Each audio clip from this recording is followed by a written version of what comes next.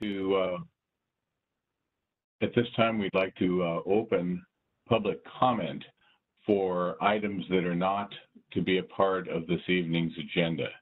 And so uh, general comments is uh, are being considered at this time.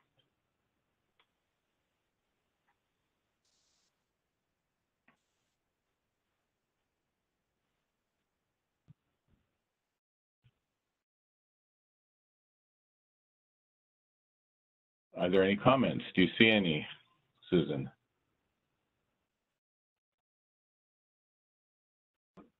Susan, I think you're muted.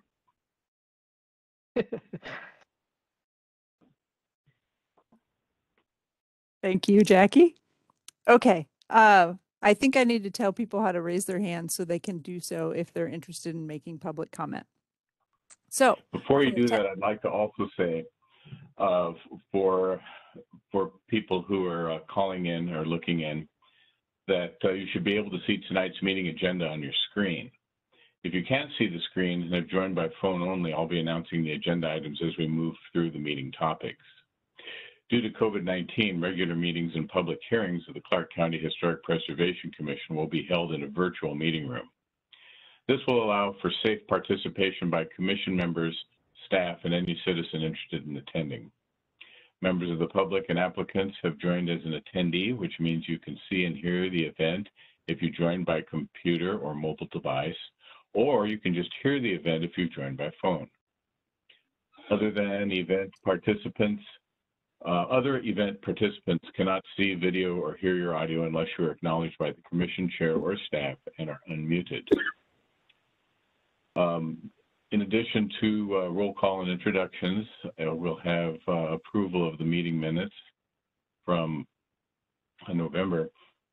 Um, public comment for subjects other than the public hearings on the meeting's agenda, as there will be specific public comment periods as part of the hearing. There'll be a public hearing for a certificate of appropriateness for the old city cemetery fence replacement and an advisory review with the Vancouver Heritage Overlay, for the Aegis Mixed Use Development Phase 2 Committee. We may have old business and updates. We'll have good of the order and then adjournment. And so uh, at this time, I'd like to uh, discuss uh, approving the draft of November 3rd meeting notes. So if uh, there are uh, no additions, deletions, or amendments, I would accept a propo- an, an approval, a, a motion to approve these uh, notes. So moved. So Greg has moved that we accept them. Is there a second? Second that. This is Paige. Thank you. It's been moved and seconded that the November 3rd meeting notes be approved. All in favor, please say aye. Aye. Aye. Aye. Any opposition? Looks like it's passed unanimously. So now, Susan, if you'd please uh, instruct how public comment may be made. We'll take public comment on any items besides tonight's public hearing items. Please keep remarks brief and to the point. You'll have three minutes to speak. Susan will provide instructions on how to make public comment for those joining us through their computer or mobile device, or for those joining by audio only. Thanks, Susan. okay, uh, I also want to let you know that I think, I think Jan Bader just joined us. Good evening, Jan. Good evening. Sorry, technical difficulties. Understood. Understood. Great, thank you. Okay, for attendees using their computer or WebEx application, if you would like to speak, please utilize the raised hand icon. You can do this by clicking the participant button or icon, the location of which depends on the device you're using. Staff will only acknowledge those attendees during the public comment period who have raised their hand by selecting the hand icon. When you're acknowledged, you will be unmuted, and when you've finished your comment, please click the hand icon again to lower your hand. For attendees using the telephone, an audio only option, you need to press star three on your phone's uh, number panel to raise your hand. When you are acknowledged, you will be unmuted. When you've finished your comment, please press star three to lower your hand. And please note, public comment is limited to three minutes per person in order to accommodate all speakers. Okay, and I am not seeing any raised hands. Susan, Holly's Yes. there. You have to look under the um, right side Oh. panel. You'll see the hand. If they changed it on WebEx, it only shows up there, not in the box. Okay, so Holly, you are unmuted. Thank you, Susan. Yay. Good evening- everyone. I'm Holly Chamberlain from the Historic Trust with our monthly report. We're pleased to note that the organization has a new CEO president, Michelle Reeves, formerly of Civilis Consulting. You will learn more about this highly qualified community revitalization and placemaking specialist over time, and she is presenting this evening. Welcome, Michelle. In regard to Providence Academy, the trust and our consultants, Sarah and Olson Engineering, have had a pre-app meeting with the city staff in regard to rehabilitation of the academy's south landscaping and renovations to the southeast parking lot. More renovation, more information will be forthcoming after plans are adapted based on city staff comments. Steel supports have been installed for the west porch reconstruction, but other work has been delayed due to the continuing supply chain issues and some challenging weather. However, any local groundhogs were not frightened by their shadows this morning, so we can expect spring soon. In regard to mitigation for the removal of the laundry and boiler buildings and potential removal of the smokestack, items that need to be submitted to the city prior to the issuance of the permit are being compiled. The archaeological monitoring permit has been issued by DAP. At Officers Row in the West Barracks, we continue to negotiate with a potential restaurateur to operate in the Grant House. And we're continuing with the prep work in that building that will be necessary no matter who moves in. Unfortunately, security issues have become increasingly challenging. Cameras have been installed near the Officers Row Bank of mailboxes to hopefully improve security. The land bridge remains closed during installation of new pavers, but good progress has been made by the city's contractor. While no completion date is set due to inclement weather slowing construction, the project may be done in February. More information is available on the city's website. Fifth Street is receiving some improvements courtesy of a federal lands access project grant received by the Fort Vancouver National Historic Site. That work will extend into the fall. The trust is keeping its tenants and people with event rentals informed as to how to best enter the area during construction detours.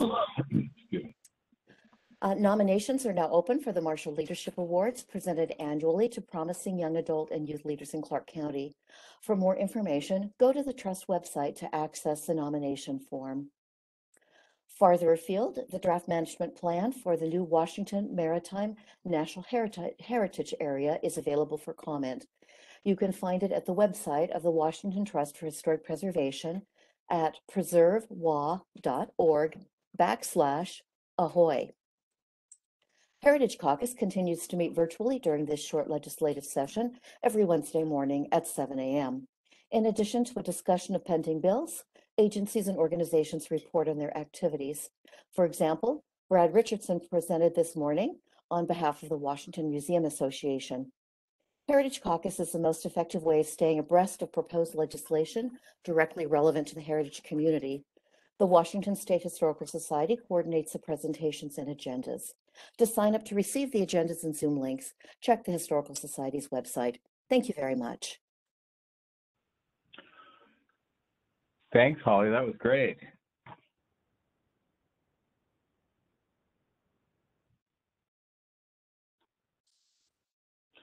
Susan, are there any other uh, people who would like to make a comment?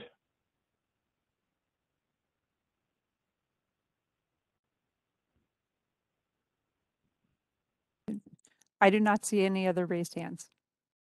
Okay, Thank you. so we'll move to the, we'll move to public hearing, the certificate of appropriateness application for the Old City Cemetery fence replacement located at 2700 East Mill Plain Boulevard in Vancouver. I will open this online public hearing for a certificate of appropriateness. The steps involved in the hearing are shown on the slide. Do any commission members have any ex parte contacts or conflicts of interest?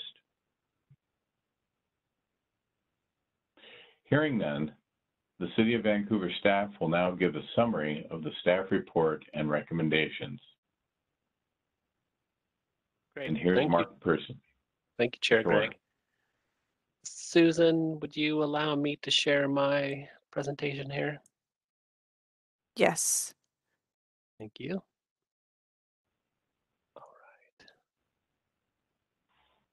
Okay, thank you. So we received a certificate of appropriateness to replace the south fence on the Vancouver City Cemetery. I have an aerial photograph here. Can everyone see my presentation? Just want to make sure. Okay, good. Uh, located just off of Mill Plain, 2700 Mill Plain, just west of Grand Boulevard. Uh, if you recall, uh, I think some of the commissioners uh, were were involved in uh, putting this on the local registry. This was uh, in 2020, so just a, a couple years back. As you can see, as part of your packet and on the um, presentation here, there's some uh, definitely some wear and and and damage from automobiles that jumped curb and and the sidewalk there, which is a little bit scary uh, in in a number of locations. West Gate and Central Gate uh, along the south side are also shown here as well. Let me go back to my staff report here. So uh, under City of Vancouver ordinance, uh, Clark County HPC has the responsibility for reviewing matters of historic preservation with this, it- within the City of Vancouver. Per our code, uh, no person shall construct any new building or structure or reconstruct, alter, restore, remodel, repair, move, demolish, or make any material change affecting significant historic features as lis- as listed in the designation application to any existing property on the Clark County Heritage Register or within a historic district without review by the commission and without a receipt of a certificate of appropriateness. So uh, the gate, I, I did include the full nomination in the information to the commission and, and the gate, the gates and the fence are, are definitely listed as, as part of, of what makes this uh, site historic. Uh, and, and I did copy just a little bit of the physical description in the staff report for your reference, but we have a number of historically prominent figures uh, such as Lowell Hidden, Charles and Laura Slocum, and Esther Short uh, laid to rest in this site, as well as a number of heritage trees uh, that are that are located on this site here. Uh, go back to my presentation. Uh, have a clip of the replacement fence here. And we do have someone from our Public Works uh, Department, uh, Eric Bierke, uh, to answer any questions the commission might have as far as the replacement and, and the work to be done. Uh, the, re- the design review criteria are listed in our rules and regulations. They're the standards used in the Secretary of the Interior standards for rehabilitation. Uh, the standards and findings uh, are listed here and in the staff report. So staff reviewed those and found um, uh, that staff is recommending that the HPC approve the certificate of appropriateness based on the application materials and staff report that are dated January 19, 2022. Go back to some photos here. And that's the end of, of my presentation. I'm here for any process questions, chair and commission members. Oh no, Do any commission members have sorry. uh, questions for Mark Pearson?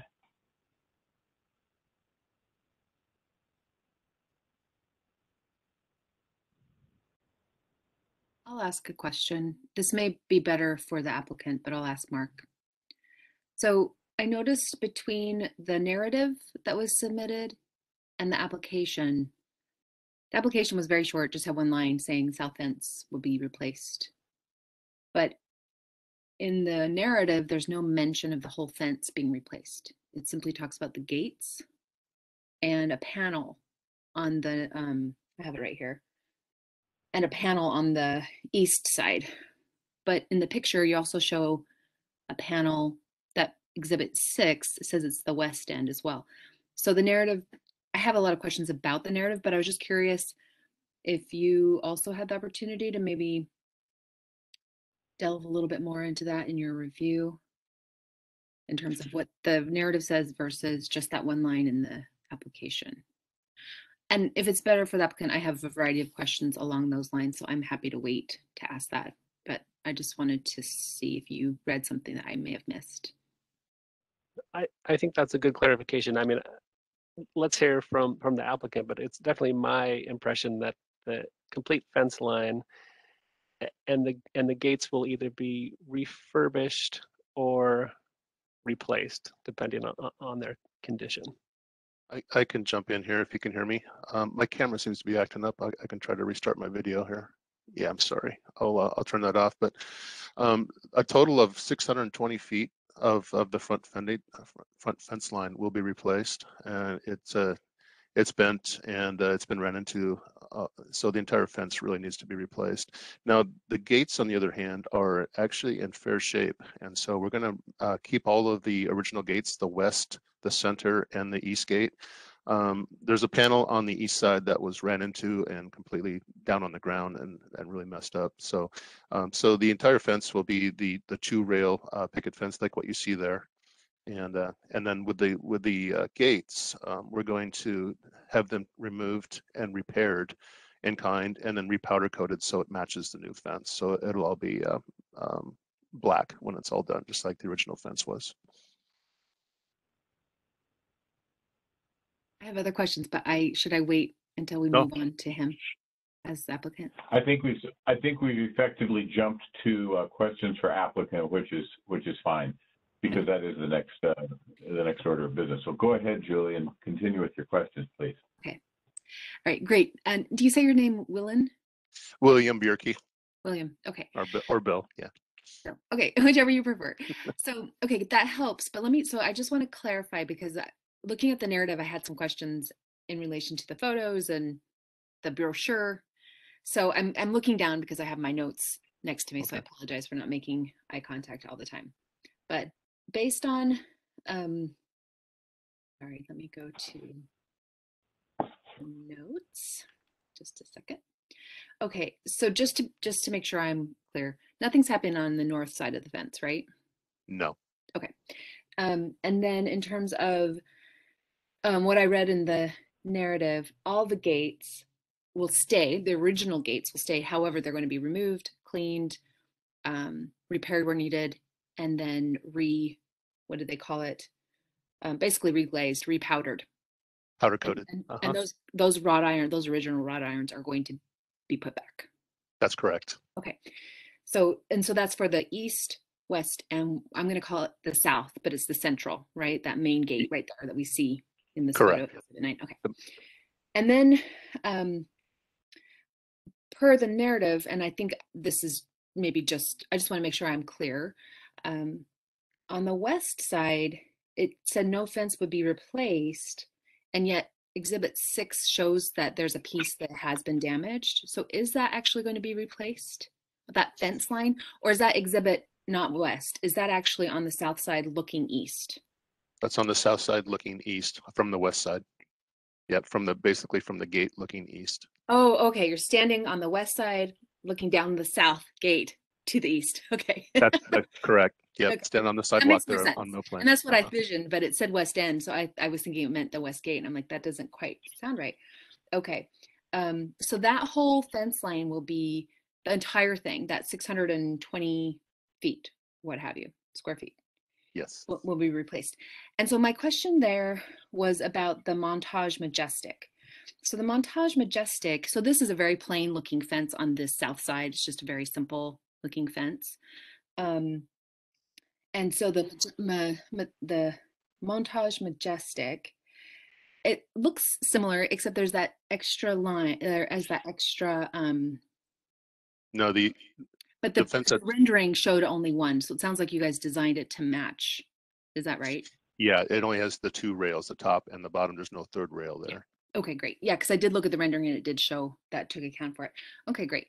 And then um, in terms of the central gate, not the fence, there's no, um, in the central gate, let's see, pardon me while I look at my notes here.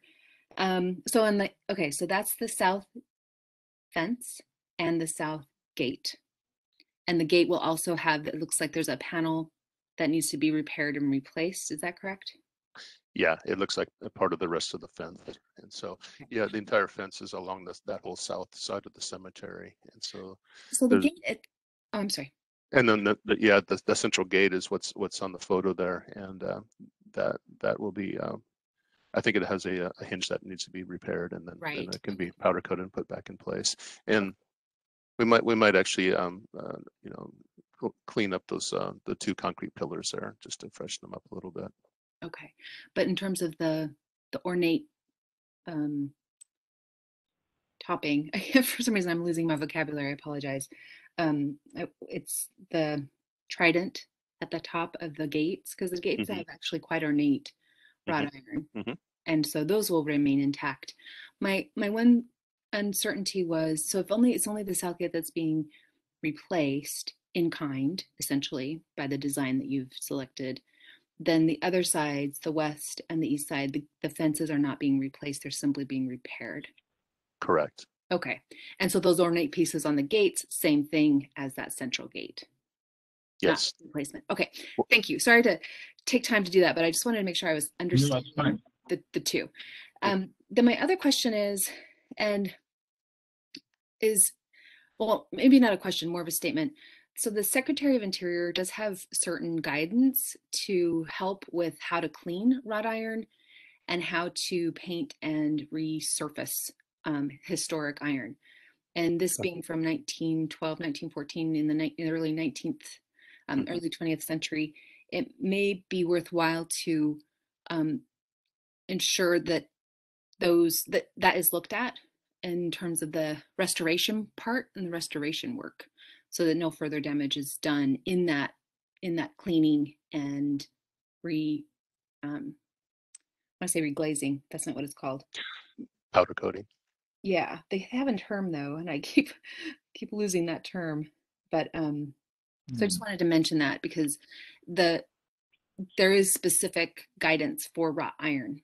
And since this is a wrought iron gate, I think it would be very um, relevant for that to be looked at, assessed, and um, to ensure that nothing further, you know, nothing further is damaged. Obviously, that your plan is to preserve it, but just wanted to mention that. Oh, thank you. That's a great suggestion. We'll do that. We'll look into it. Thank you for all that clarification. I appreciate it. I'll Sure. Turn the mic over to anybody else. Any further questions?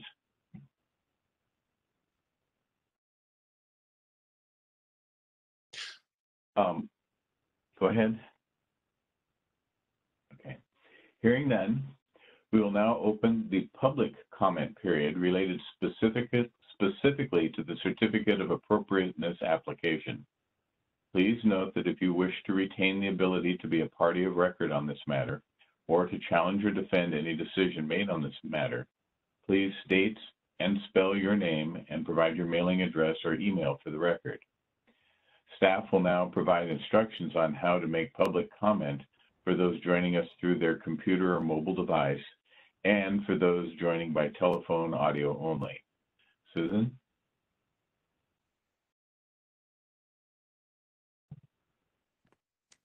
Thank you, Andy. Let me just share my screen real quick.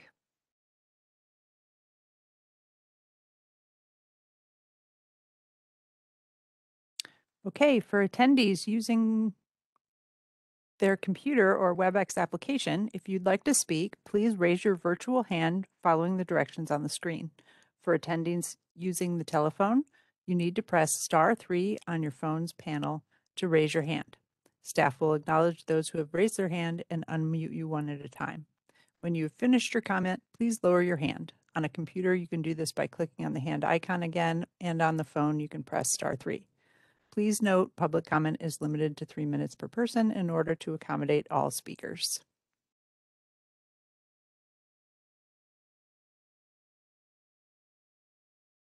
And I'm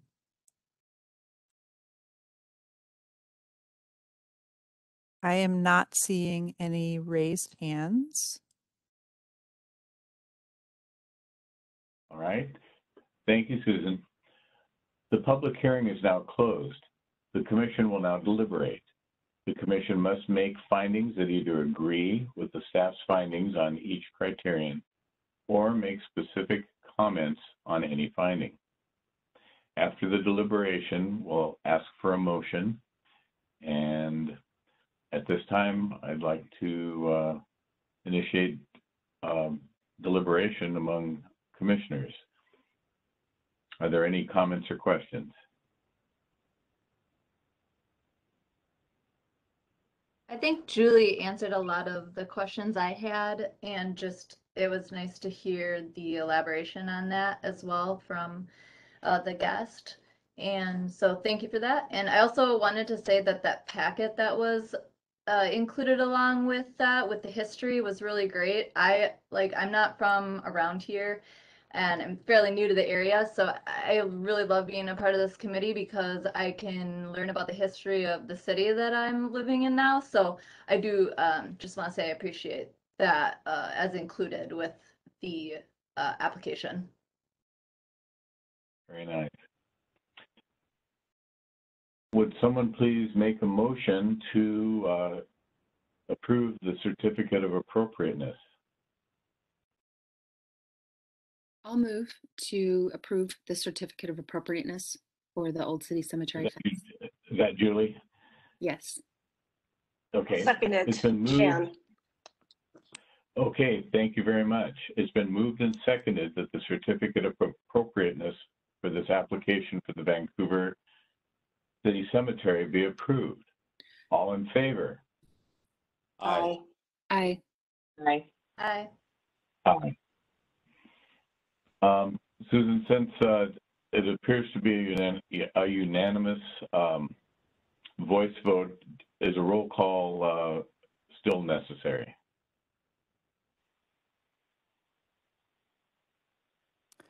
Uh, I'm not sure, so I'm going to suggest that we do the roll call.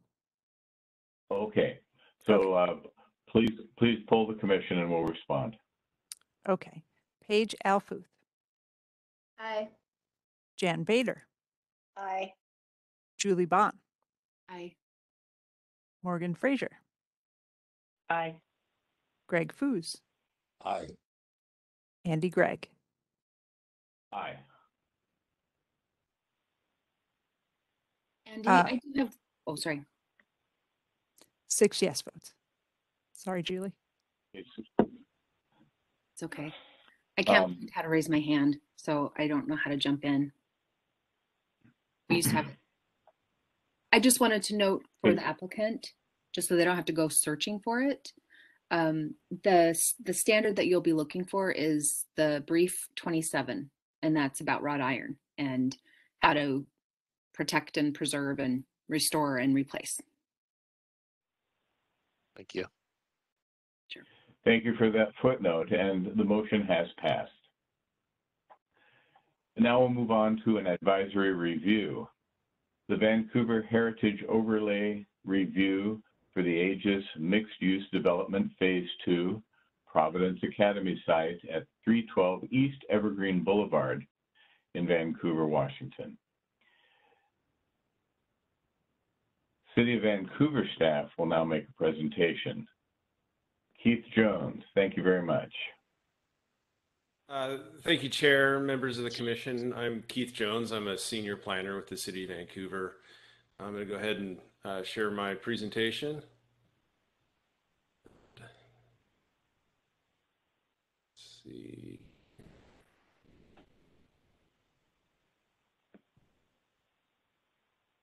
Can uh, you see my screen? Yeah. Great, thank you. Okay, again, I'm Keith Jones. Uh, Just a small agenda for tonight's meeting. As the chair had indicated, this is a advisory review, so it's not necessarily a public hearing. Um, but for tonight's meeting, I'll go ahead and give an introduction to the project. The applicant will then present. That's Aaron Wagat with Marathon Development. Uh, I believe if there's anybody here tonight that would like to provide testimony, will uh, the chair will allow that to occur, and then we can take any questions. Um, staff would just city staff would just request uh, that that the commission make a motion tonight uh, and a recommendation to city staff, and then following uh, tonight's meeting, probably likely by the end of the month, staff will render a land use decision on the application. So just to let you know what the land use application process is. So uh, staff, this is a type two site plan review and SEPA. And so back in December, staff did notice the application to the public, including posting the site, mailing within 500 feet of the site, uh, allowing for a 14-day comment period under the city's code, and uh, issued a mitigated determination of non-significance uh, for the SEPA review. And we did not receive any uh, public comments within that time frame. Uh, the only public comments I'm aware of that were received were a couple of comments uh, in favor of the application. I believe those have been provided to the, the commission at this at this time. So again, uh, following any this the commission's recommendation tonight, staff will then render a decision likely towards the end end of the month.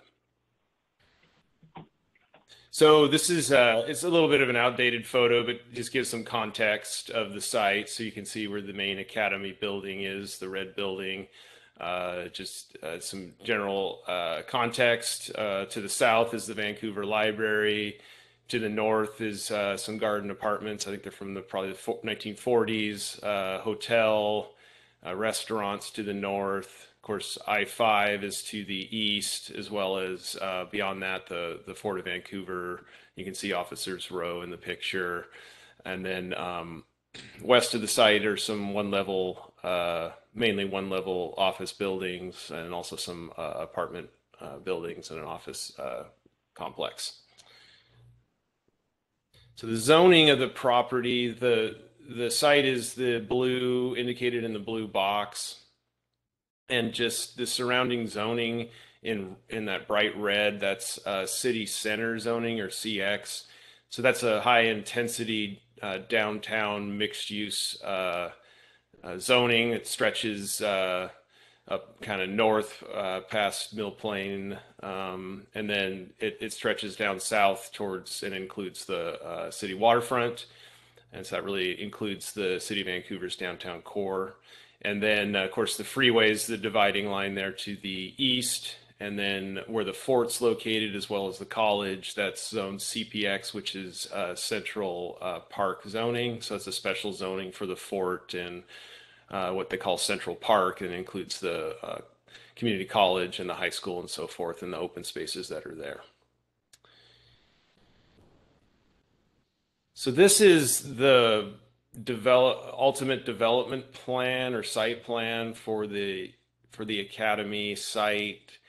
Um, so on the left hand side on C Street, there's two buildings in darker gray, building A and B, as well as a surface par- a linear surface parking area that it extends from Evergreen to 12th. That's the Aegis Phase One project, and so that that was approved back in 2018, and that went before the commission at that time for an advisory review. And those two buildings are currently under construction as well as the surface parking area. And that included 147 uh, multifamily dwelling units and about 5,000 square feet of commercial space. Most of that commercial space is on the ground floor of building A, and that faces a plaza that's um, that's being constructed at the corner there of C and Evergreen. So this project is the phase two Aegis. And so then we're starting to letter those buildings. You can see the hashing up in the northeast corner of the project. So building C, D, and E, as well as a parking structure. So that's all it's, it's, it's uh, shown as different buildings, but it's really one, uh, one structure essentially. It's attached together. Um, and then between the main academy building and phase two is some open space that the applicant proposes to uh, provide. And then um, I believe Holly Chamberlain mentioned this, but the Historic Trust on its own, this is a separate project. You can see in the southeast quadrant is a proposed parking area. And then also with that, the, the trust is also proposing to upgrade the landscaping at the front of the Academy building where the heart shape um, turnaround is. So that's a separate project, but this is really kind of showing you what the ultimate build out is. And then uh, I just have some statistics there in, in that I've bolted out for the project. So it's six stories, 200 apartment units. This the parking structure is 201 parking spaces. Sort of surrounding that is 34 surface parking spaces, and then the open space proposed is around 42,000 square feet. So I just, what I did here is I just windowed in on phase two and highlight the boundary of the scope of this project. So that's what we're reviewing tonight uh, in the yellow highlight. Uh, so the, the main building, the surface parking area, the open space, and then um, again to the left there is the uh, surface parking from phase one, but then sort of extends to the north end of the main academy building. And then the box kind of down there in the lower right corner, that's the gym, gymnasium um, and preschool. That's uh, former gymnasium. I believe it's used as a preschool uh, currently. Um, so this is uh, just identifying the open space area more clearly. So just a just a few things here, uh, staff, when we issued the mitigated determination of non-significance, we required a, a few mitigation measures. So one of those mitigation measures is that that open space be dedicated to the public.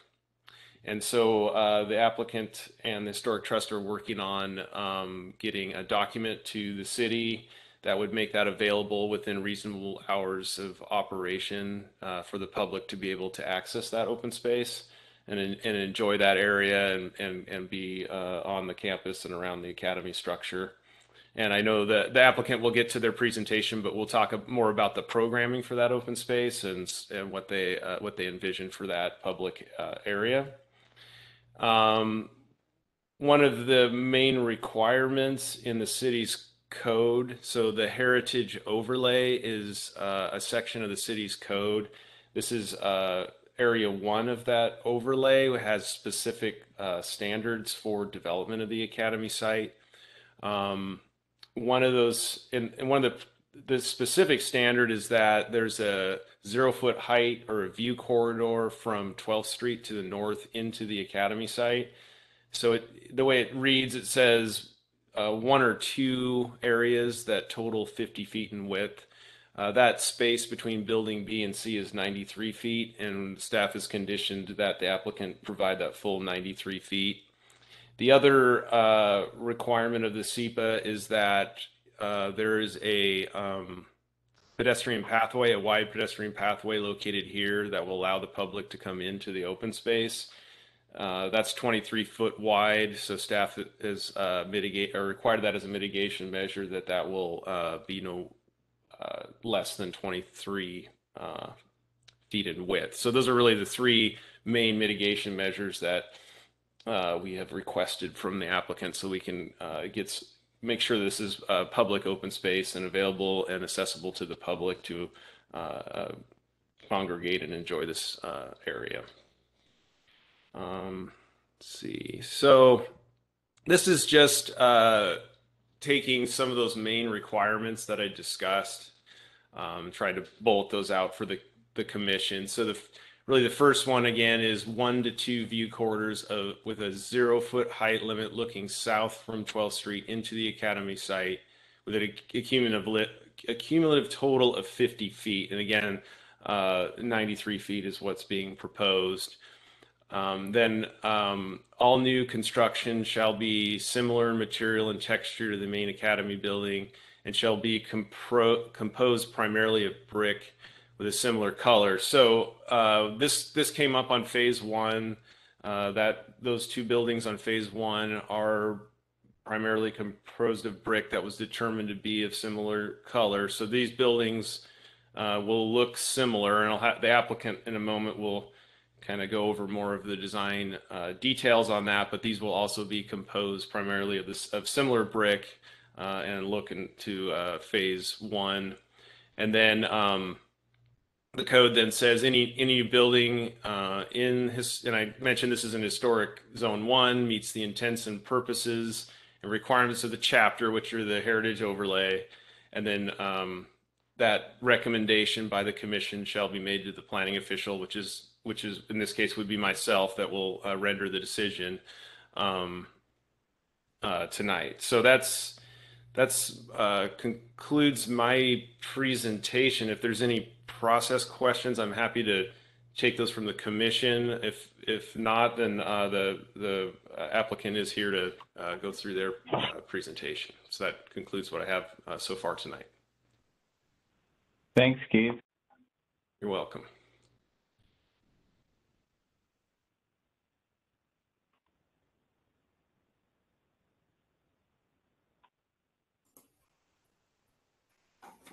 Would the applicant like to provide any additional testimony? Uh, yes, thank you. Uh, Susan, I'm going to try and share my screen. I'm far from an expert um, with this technology. But... Can everybody see this presentation?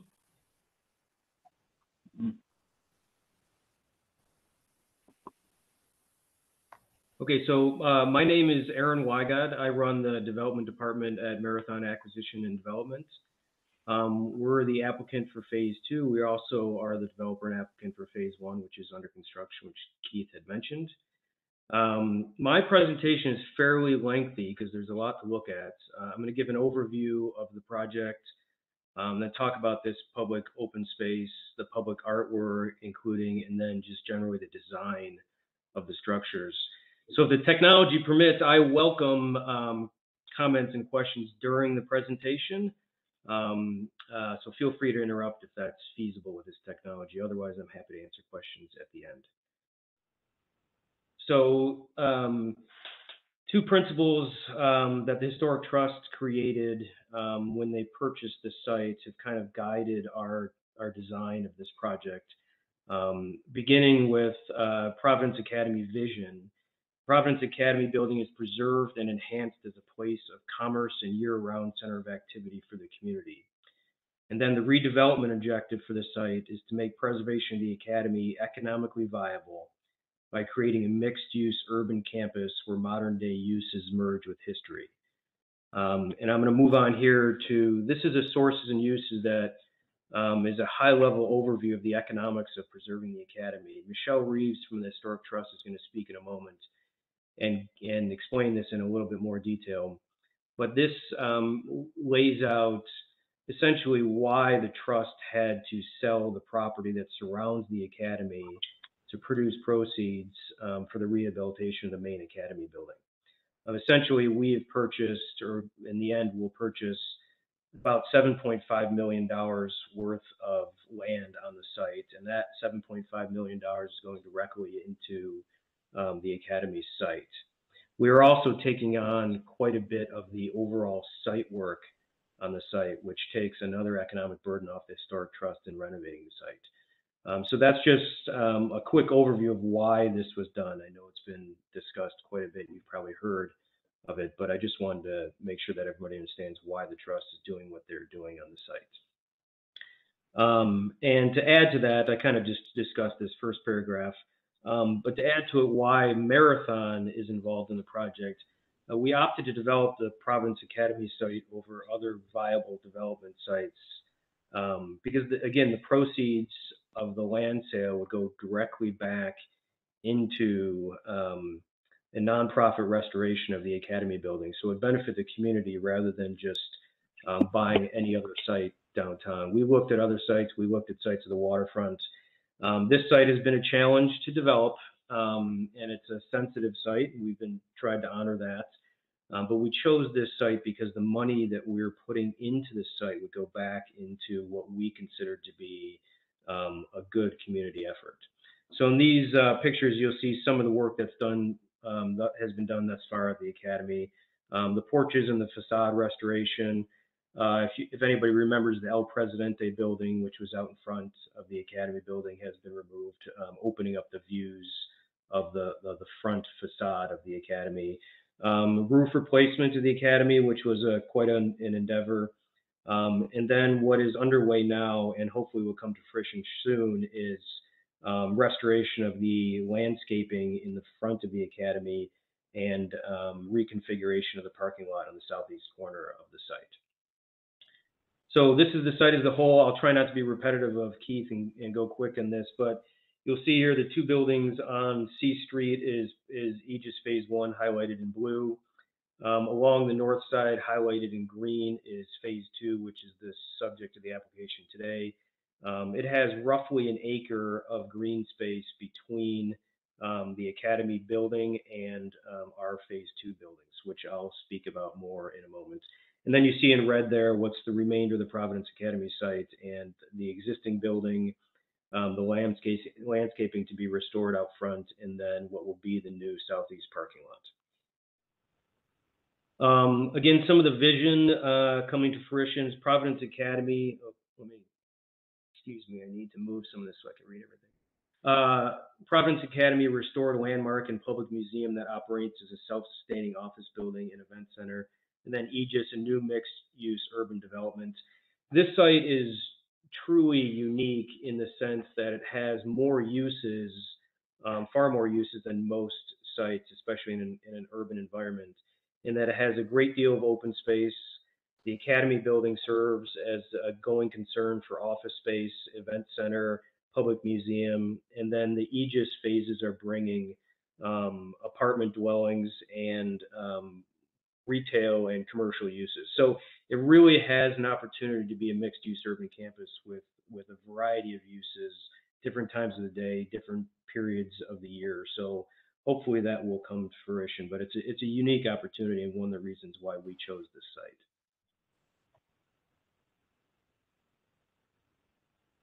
Um, just some of the development statistics. Again, this will be a little bit repetitive of what Keith said, but uh, phase two is 2.5 acres, 190,000 gross square feet, 200 apartments, uh, parking garage with 201 spaces. Um, the development itself will be quite high end, so it'll have um, you know, some of the, the best amenities in town from um, both a site amenity standpoint and um, and the indoor uh, portion of the development. Um, I'm going to go through some of the renderings here just to give you an idea of, of the site and the phase two buildings. Uh, this is a rendering with the south aerial perspective um, from Evergreen Boulevard, and you can see the phase two building back behind the Providence Academy there. This is the same um, perspective except from the pedestrian standpoint, the pedestrian perspective. So this gives you an idea of the, the scale of the building relative to the academy, at least from the Evergreen perspective. Obviously, as you go further north, the buildings feel bigger, but this is, gives you a good idea from the pedestrian perspective on the south side of Evergreen Boulevard. Uh, this is a southwest aerial perspective. Um, this is a, a good rendering of what it would look like from the public library across the street from Providence Academy. You'll see on the left the two buildings, that's Aegis Phase 1, and then you can see a little bit of Aegis Phase 2 behind the Academy there. This is the same, um, same viewpoint except from the pedestrian perspective. This is the uh, aerial perspective of what will be this green space or open space we're speaking of between the Academy building and Aegis Phase 2. Uh, this is essentially the view would get from uh, the northernmost building of Aegis Phase 1. And this is again the same, same view from the pedestrian perspective. This is the 12th Street perspective from an aerial standpoint. Uh, the building on the right is the northernmost building of Aegis Phase 1. Uh, the building in the middle is uh, the Aegis Phase 2 that we're discussing tonight. And then the parking garage you see tucked back in the corner. Um, and this again, is 12th Street from the pedestrian standpoint. Um, one revision we've made that I'll just touch on um, since you were provided the package from Keith Jones uh, four to six weeks ago is we had a retail space planned on the westernmost end of the Aegis uh, project. You can see here, if you can see my cursor highlighted in blue. Um, we've decided to eliminate that retail space. Um, we um, we're a little concerned about how viable that retail space will be between COVID and it just not having much street frontage. Um, this is also where the uh, enhanced pedestrian corridor into the green space will be. So we moved um, the entrance to the building um, from 12th Street and the green space all to this west end. So that could be the focal point and the entrance to the, the project as a whole. And we think that will will better um, will better enhance that side of the building and uh, make it a little bit more lively, people coming and going, especially from that pedestrian corridor, which I'll show you in a minute. So that was just a change that you weren't, that wasn't included in your package, so I wanted to make sure that you're aware of it. Um, so the open space, um, Aegis Phase Two will include 40,000 plus square feet, roughly an acre of open space between the Academy building and Phase Two.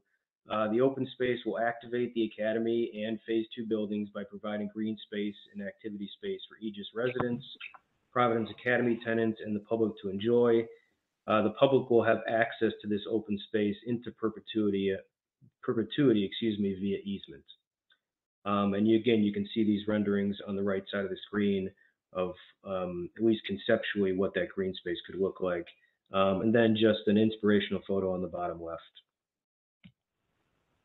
Um, public art summary. So within that green space, there's going to be a significant amount of public art. Um, in the rendering in the upper right-hand corner, you can see some blue dots where some of this art will be located. Um, Marathon and Historic Trust will develop a series of historical interpretive centers integrated into the open space as part of its consideration for the property tax exemption.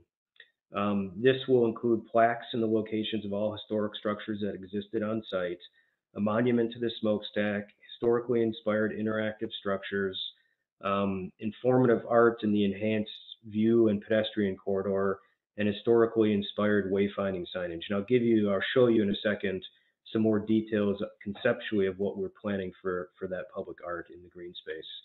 Uh, the open space will also include additional historical interpretive centers curated and paid for by the Historic Trust, um, which is uh, part of the Historic Trust mitigation for the smokestack boil and laundry building, which includes a three-dimensional map of the site that depicts all, depicts all historic structures that existed on the site and clear overlay informational boards showing the laundry boiler and smokestack structures. And if you look at the conceptual uh, photos in the bottom, um, on the far right, this is a three-dimensional map of the site, so something along those lines will be cre created. Um, then in the center section there, are clear overlay boards of some sort um, depicting the smokestack laundry and boiler structures. Um, this is an, just an example of some informational um, boards. And then the plaques on the left side here, that'll be included throughout the site where all the historic structures stood. Aaron? So I'll give you a little more detail on, on what we plan. Again, this is all Aaron? conceptual. It's, yep, Can you go back to one slide? You said to interrupt you, so I'm Sure. just curious about something. yep. That Sure. bottom right, that bottom right photo, I know that these are proposed options, but I'm curious, Yep. is there going to be a part of the smokestack remaining? So it looks to me like in this photo, they have it on top of some kind of brick structure that's circular.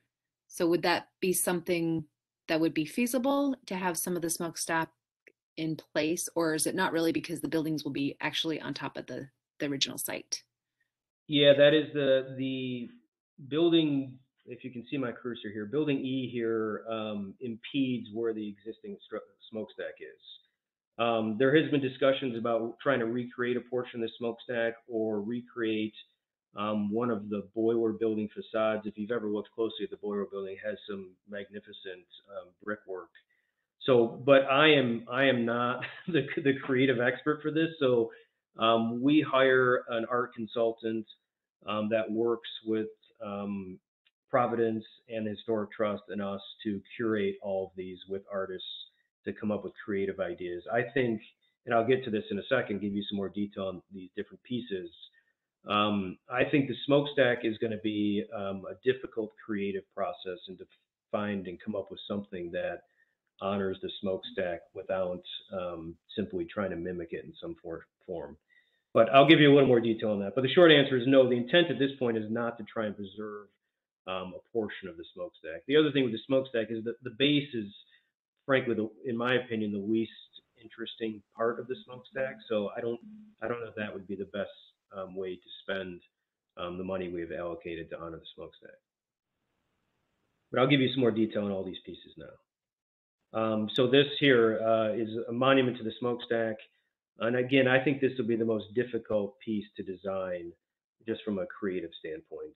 Um, the open space will include a monument to memorialize the historic smokestack. This can be accomplished through elevated landscaping with seating or sculptural element that recreates features of the smokestack.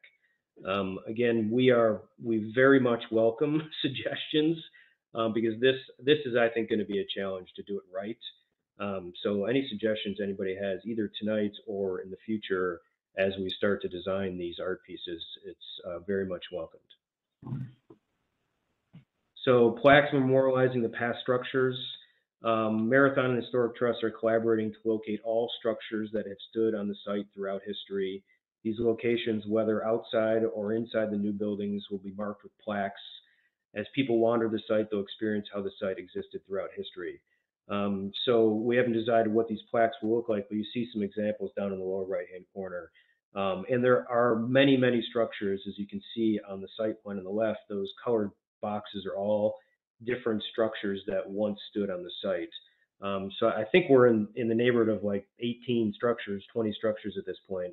So we thought this would be a creative way for, without being too conspicuous, um, people walking the site and understanding what once stood there. And this will tie to um, both the three-dimensional map and um, a map laying out where all the plaques are located. Um, the open space will include a historically inspired interactive structure integrated into the landscape. This will pay homage to the story of the sisters while activating the space by allowing kids and adults to interact with a recreated piece of history. Again, these are conceptual, um, inspirational photos um, at the bottom of the site. That is a uh, one structure in the middle there that did his um, in, in history stand on the site. So again, um, how this ends up in the end is up in the air, um, but we have a significant budget allocated for for this piece.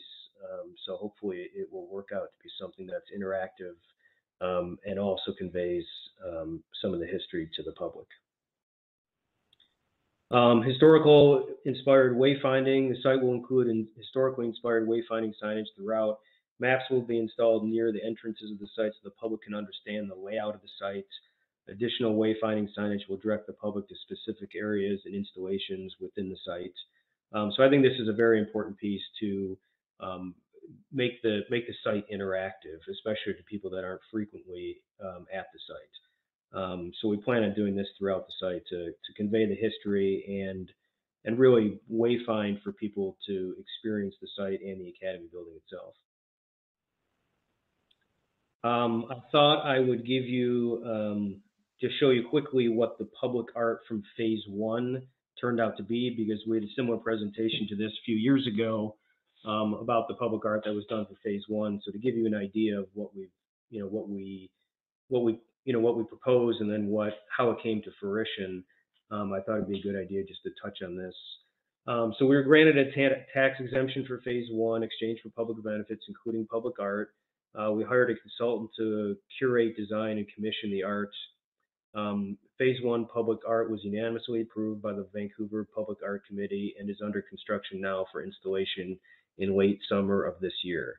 Um, so if you can see here, this, this site plan, um, we're installing informative art along the facades of building A and B, which is on C Street. There is a sculpture in the plaza that's going to be created at uh, the corner of East or of Evergreen and C Street. And then there are gateway tile murals that are that are kind of on each side of the 11th Street access to the site that are creating a gateway. To show you what those are looked like. So this um, is the is the art that was created and to be installed on the pilasters along the building on 12th Street or C Street, excuse me. Uh, there's 12 locations. Uh, they're metal panels cut out to reflect overall shapes inspired by the architecture elements of the academy. Within each shape will be more botanical cutouts representing importance of the gardens on the site historically Each will also have rectangular cutout with translucent illuminated panels telling the story of the site. Each story will stand alone and tell a piece of history. So this is just an example of, um, you know, we always intended to provide some kind of informative art along C Street, um, and this is uh, how it came out. So this is being constructed now. Um, these are the tile murals that are at the um, on each side of the building walls uh, along 11th Street as you enter the site. We also decided to um, angle um, the walls away from the buildings and kind of create a pinch point on 11th Street um, so that the murals are more visible from C Street um, and create this this gateway. So these are you know 10 by 10 or 11 by 11 uh, murals um, that are done on tile and put on those those large walls along 11th Street. And this, uh, being my favorite, is a 10 foot tall uh, sculpture of an, an ode to, to, Mother Joseph. The overall shape of the metal supports replicates the architectural shape of the Academy's chapel. Um, within the metal structure will be sheets of glass cut and stacked with a silhouette of Mother Joseph in the negative space. Um, so this, um, we think this is going to be a, a, fantastic installation, and this is going in the plaza at the corner of C Street in Evergreen. So those are just some examples of how the art pieces actually worked out for phase one. So moving on to the view corridor, um, as Keith mentioned, um, there, there's a heritage overlay requirement that uh, we have a 50 foot wide, zero height view corridor. Um, our 12th Street view corridor into the Academy site is actually 93 feet wide, significantly exceeding the Heritage Overlay's required 50 foot wide view corridor. It also provides a wide view of the Academy site and Academy building varying degrees, depending on the perspective within the view corridor as shown below. So you can see on this site plan, the view corridor is highlighted in orange and gives you an idea of what you'll actually be able to see depending on what perspective or where you are standing essentially within that view corridor. So um, some of the things we did to improve this view corridor, um, in working with city staff, we um, at one point uh, widened it, so it wasn't as wide as it is now. Um, we moved the west facade 17 feet to the east, which resulted in losing apartments and density. Um, that adjustment, however, significantly expanded the view corridor to over 93 feet, um, and which in turn, you know, significantly expanded the view of the academy sites um, over what it is required by code. Um, what I think was the, the best part of expanding that view corridor is it created a 30 foot wide pedestrian path. If you can see my cursor here um, on the along the west facade of the phase two buildings, um, which will really create a nice pedestrian access into the green space and further on into the academy. Um, that wider pedestrian path allows for enhancing the view corridor with art and landscaping to catch the attention of passersby and draw them to the views of the Academy building and site. Um, and um, from 12th Street will lead people to the expansive green space and further south through the green space to the Academy building. Um, within the design team and also talking with city staff, there's a debate about what we do with that 30 foot wide corridor. Um, we can leave it essentially as just sidewalk and landscaping um, to preserve as much of the view as possible. Um, and then we have three other um, art installation ideas that, that, we are welcoming feedback on. Um, so again, the idea is to try and catch the attention of passersby, whether driving or walking, and pull them into the site, pull them in to see the view of the academy, and then hopefully further on to the site. Uh, the first idea is um, to, along the 30 foot wide pedestrian path, include robust, robust, excuse me, low landscaping along with uniquely shaped concrete or steel bollards etched with historical information about the Academy site. Bollard's shape and illumination will catch people's attention and draw them to the view corridor and lead them into the Academy site towards the green space and Academy building. Another idea is to uh, create a framed entrance to the pedestrian access in the view corridor with informational panels and built-in seating to again catch the attention of passersby and draw them into the view corridor and site. Uh, the frame can be designed minimally or even mostly transparent to enhance rather than obstruct views. And then the last idea is to create a mirrored entrance, arranging mirrors so that the views of the of the view the views within the view corridor are reflected towards 12th Street and C Street to again capture the attention of passerbys and, and pull them towards the view corridor and the academy site. So again, um, just trying to enhance that view corridor with um, public art that catches people's attention so they're pulled through the site. Um, Aaron, Yep. I'm gonna interrupt you again. Can you go back two more No. slides? I wanted to see that map that you showed us. Here. Yeah. Um, yes. So, okay. So out of the 93 feet, 30 of that is going to be that pedestrian pathway right there. Yep, Where you're correct. Okay. Okay. And then the rest is the parking and like a driveway to get through one point to the other point, Correct. like point building B to A. Okay. Yeah, that's the um, main thoroughfare no- north-south coming through the site. Okay. As you then- go through, would you please pause on art option number two after Julie asks her question? Sure. And and I, I might as well not wait for this. My one of my questions is there are you mentioned in the narrative on page seven about the trees that are going to be removed, and part of the code does state that any tree over 30 feet high really should be avoided to be removed. And there's a whole host of them that you all address in it saying yes, they're going to be removed. But no further comment is made.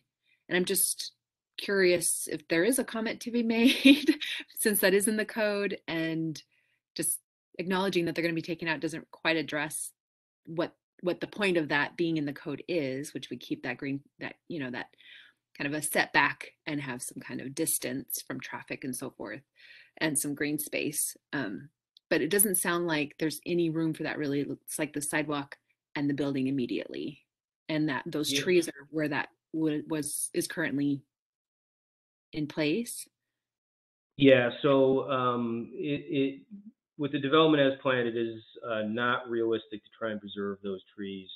Um, we will, of course, adhere to um, the city standards for the street trees, but the way we've looked at it is the green space is a form of mitigation for removing those trees, um, and and that that's essentially our plan. We haven't designed exactly how that's going to be landscaped, but we're obviously going to um, you know, do as much robust landscaping as we can within that area. Um, so that's, and, and part of the problem too is a lot of those trees, I mean, I'd have to go back and, and look at them one by one, but oh, it's, it's with the city standards for the heritage sidewalk requirements, it's very difficult to retain large, what we call right-of-way street trees. Um, I forget how many of them are on site, but most of the trees that you're mentioning are in the right-of-way um, and it's it's nearly impossible to um, comply with the heritage sidewalk requirements and maintain those trees. So I'd have to look at them one by one. Some of them are probably impeded by the building as well. But if I here, I'll show you. You can yeah let me see. you guys actually do you do document what they are you have a there's a dogwood tree nine maple trees Oh yeah, sure. Yep. um, Um, a spruce, a plum. I was So just we- curious. I mean, obviously you have a lot of green space planned, but not on that side, and those trees are going to be eliminated. So I was just curious, since it is part of the code, that it is addressed. Yeah, And so we can go back. can't. Yeah, we can go So- back and look at that. You, you can see here, we, we um, jogged the building to create some articulation in the building and interest in the building rather than having one long facade. So if you can see my cursor here, this um, western half of the building is set back from the right of way quite a bit. Um, so there's a, a wider berth here, so to speak, um, from the trees. So in this section, I don't think the trees are necessarily impeding on the building construction. Again, I think the problem with the trees that are located here is um, the heritage sidewalk. Um, but if that if um, if that's of concern, I mean, we can talk to the city and, and we can go one by one and and revisit why those trees are being removed and if city staff would rather have the trees than the heritage sidewalk, if that is indeed the problem there, then we can we can revisit it. My, I believe that once you get to this portion of the building, the eastern half of that building, there probably is not enough room to maintain the trees there, um, given given the location of the building.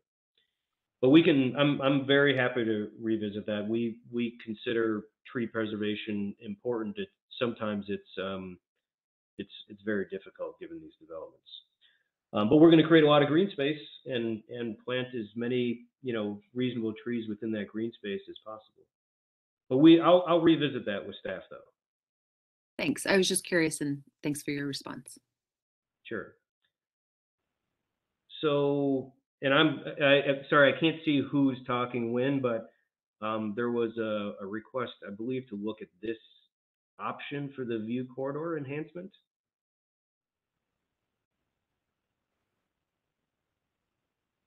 From one of the commissioners? Yeah, it was, um, Andy Gregg asked.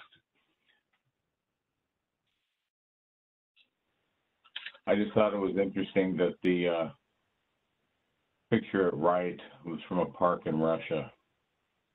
okay. So yeah, I mean, uh, this, you know, again, these things are quite subjective, um, art just in general. Um, I tend to like this first option the best because I think it has the opportunity to catch people's attention without impeding the view much. Um, I, I don't want to leave it as just sidewalk because it just, um, it seems like a lost opportunity to make it something special. Um, this one, I have a little bit of concern about it impeding the view. Um, and then this one just, it might, it might be a little too interesting, frankly, for this, for this site. But we're, um, you know, we, we welcome your feedback and I, I think whichever one we choose, it'll, it'll be an enhancement to that pedestrian path. I'd rather not leave it as just a 30 foot wide, you know, concrete sidewalk. So I will continue moving. Um, that's essentially the end of the art and um, the green space.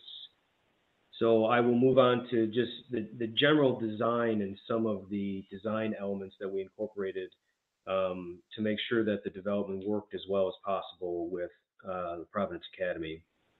Um, th there were several design guidelines that were created um, and I think the trust called them guiding principles um, that I think Michelle will touch on in a minute. But um, two of these guidelines, and, and this is, most of this was formulated with Aegis 1 and just recreated for Aegis 2 because we obviously didn't want to do a different design and make the site any more complicated than it already is.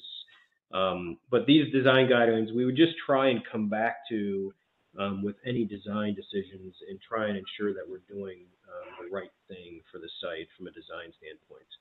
Um, preservation and possibility give a historic site new life while embracing its architecture, spirit, and history.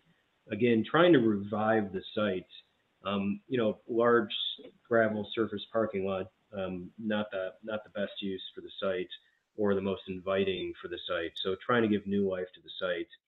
And then the more complicated piece of it is compatibility. Um, so this guideline create a compatible juxt- juxtaposition of old and new, which is far easier said than done, um, while employing current design techniques to accommodate modern needs while incorporating traditional architectural elements to showcase the Academy's inspired history. So we kept coming back to this one. Um, again, modern buildings have modern needs, such as lots of you know, lots of glass, lots of windows. Um, so try and um, adhere to those modern needs while still incorporating traditional architectural elements to tie it together with the academy. And also not to create too much juxtaposition. I mean, make sure that it was compatible. So to touch on some of the more specifics, um, the design team utilized the same compatible juxtaposition as old, of old and new used in Aegis 1 Aegis 2 complement the Academy rather than mimic it. So we didn't want to try and recreate um, the Academy. We didn't want to use all red brick to create a giant sea of red brick. Um, so try and complement the Academy rather than mimic it. And again, all, all easier said than done. Uh, this was accomplished by employing current design to accommodate modern needs while incorporating traditional architectural elements to showcase the Academy's history. So structured, clean, and rectangular forms were employed and paired with robust landscaping plazas and interpretive art to create a frame around the academy. Um, Aegis 2 was designed with minimal articulation and complexity to limit distraction from the academy. So we, many of our designs are, are much more complicated than this academy design or the, the Aegis design. And we just didn't want to complicate it because we didn't want to detract from the academy. So we wanted the academy um, to be the focus of the site and the Aegis buildings just to frame it. Um, so some of the specifics of what we did to, to make that work. Um, simple facades and clean lines frame and highlight the academy. Uh, mostly brick cladding is the same material and texture of the academy. Uh, neutral palette on the upper floors provides some contrast from the academy, but allowing the academy to remain the focus of the site and not create stark contrast between old and new. Uh, red brick on the upper portions of the facades connects to the academy and creates a cohesive campus feel from the distance perspective. Um, from the closer perspective, the dark colored brick base and the academy stone base both form, you know, form anchors for the buildings. Uh, the brick size and layout closely resembles the academy's brick size and layout. Um, traditional brick elements, uh, soldier courses, pilasters, other brick detailing infuse traditional elements um, from the close perspective. Um, rhythmic and symmetrical window layout similar to the academy's window layout. Um, red brick base on the building and red brick pathways throughout the site creates a cohesive campus feel from the pedestrian perspective. So from the pedestrian perspective, the the red brick pathways and plazas and the cohesive landscaping throughout will hopefully make the whole site tie together from the pedestrian perspective. It's difficult to get a feel for that in looking at these renderings, um, but I think we did a pretty good job in the design of the site so that it feels comfortable and cohesive.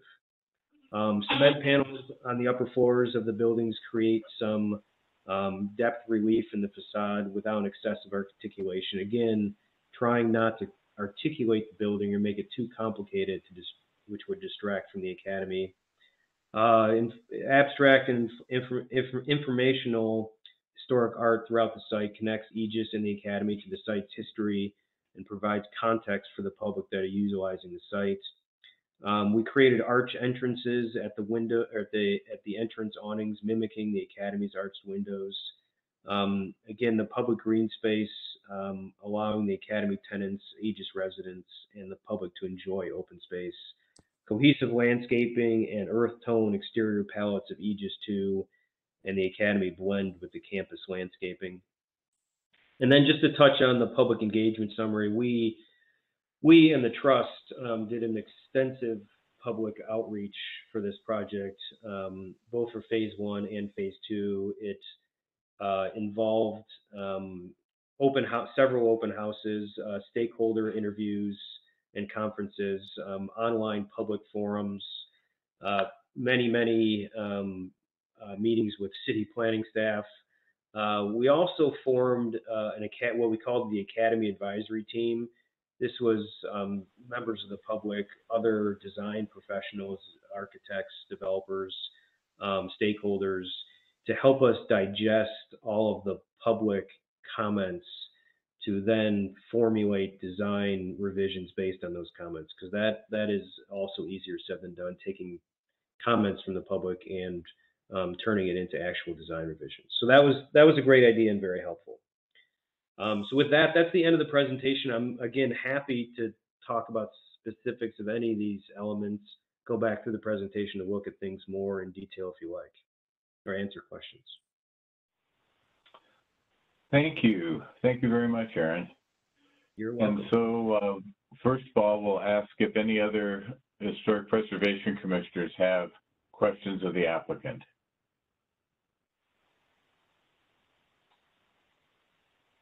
I don't think I have any questions. I just have a, a comment after the presentation, which was which was great.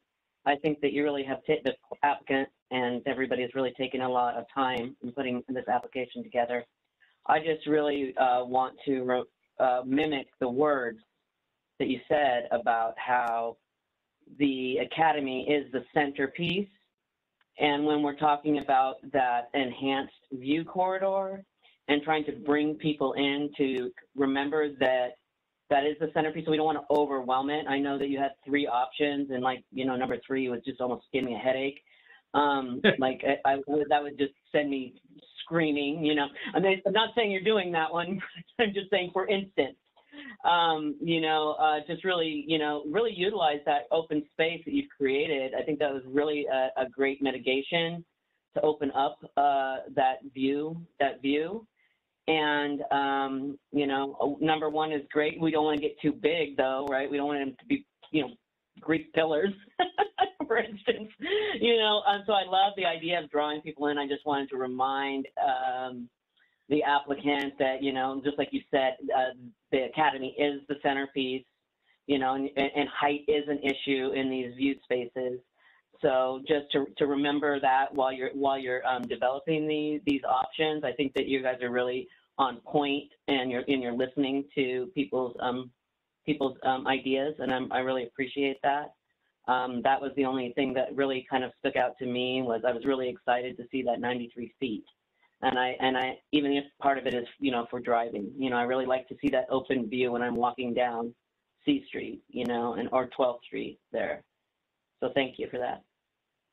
Yes, and thanks for the feedback. We um, uh, we found it very important to make sure that there's several entrances to the site, and then we do the best we can to kind of create gateways. So the plaza at the corner of C Street and Evergreen is going to be a, a fast, fantastic addition. And from the pedestrian perspective, really, I think pull people into the site from what else I'll you know say is the most important perspective along Evergreen Boulevard and C Street down there. Um, but then, yeah, at, at 11th Street, you know, we are creating those tile murals, which will hopefully catch people's attention and pull them into the site. And this is the idea along 12th Street, which is the, the least utilized street surrounding the academy. Um, but from where this is, I think it will catch the attention of some people coming down C Street, and then certainly catch the attention of anybody that's coming down 12th Street. So, how, how we do that is is kind of is the question. Um, but we didn't want to we didn't want to leave it plain because um, we thought it was important to all these entrances to some degree form gateways and pull people into the site. I have some comments, but I already spoke, so I want to make sure other commissioners get a chance first. So, Andy, just know that I'm just going to wait my turn.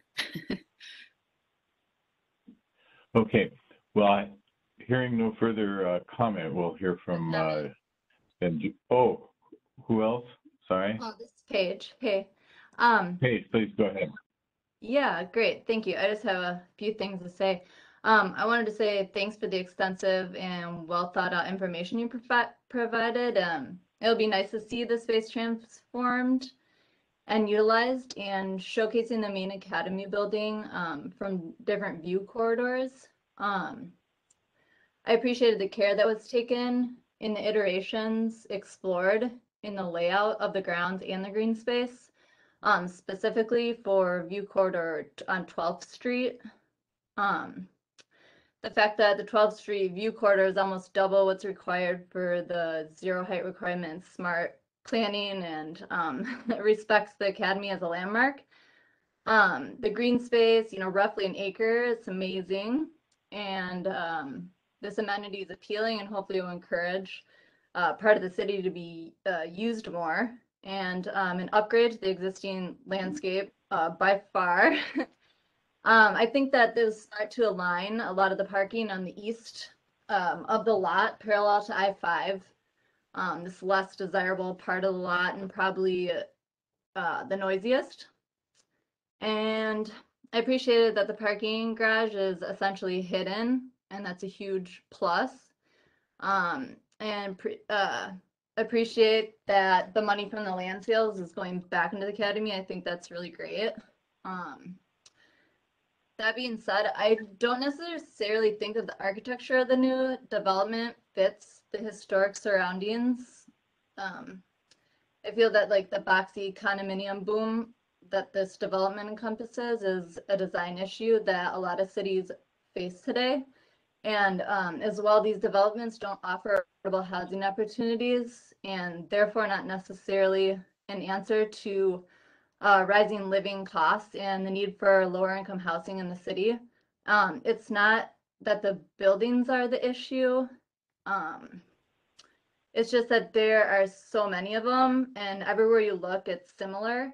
And I feel that on this site, it slightly brings down the integrity of the academy, but I'd hope that more sensitivity to the fact that this is within a historic um, overlay district would have encouraged a different kind of architecture. But I do like I do appreciate all the work that's gone into it, and I do think it's definitely an upgrade, you know, from what's currently there. Um, I just had a few more comments just to mirror what Julie had said about uh, the smokestack. Um, I was, I don't know, like, I'm not sure the logistics about disassembly of the smokestack, but I thought it would have been cool maybe to do like take like the top portion of the smokestack and maybe like reassemble it somewhere just so um, it could remind people that it once stood there and then give it some type of like a nod to the actual scale of what it once was. Um, and then my last comment is I didn't see a roof plan in the design content provided, but um, it would have been maybe nice to see some type of partial green space on the roof that could collect rainwater or just reduce um, the fact that these buildings act as uh, urban heat islands.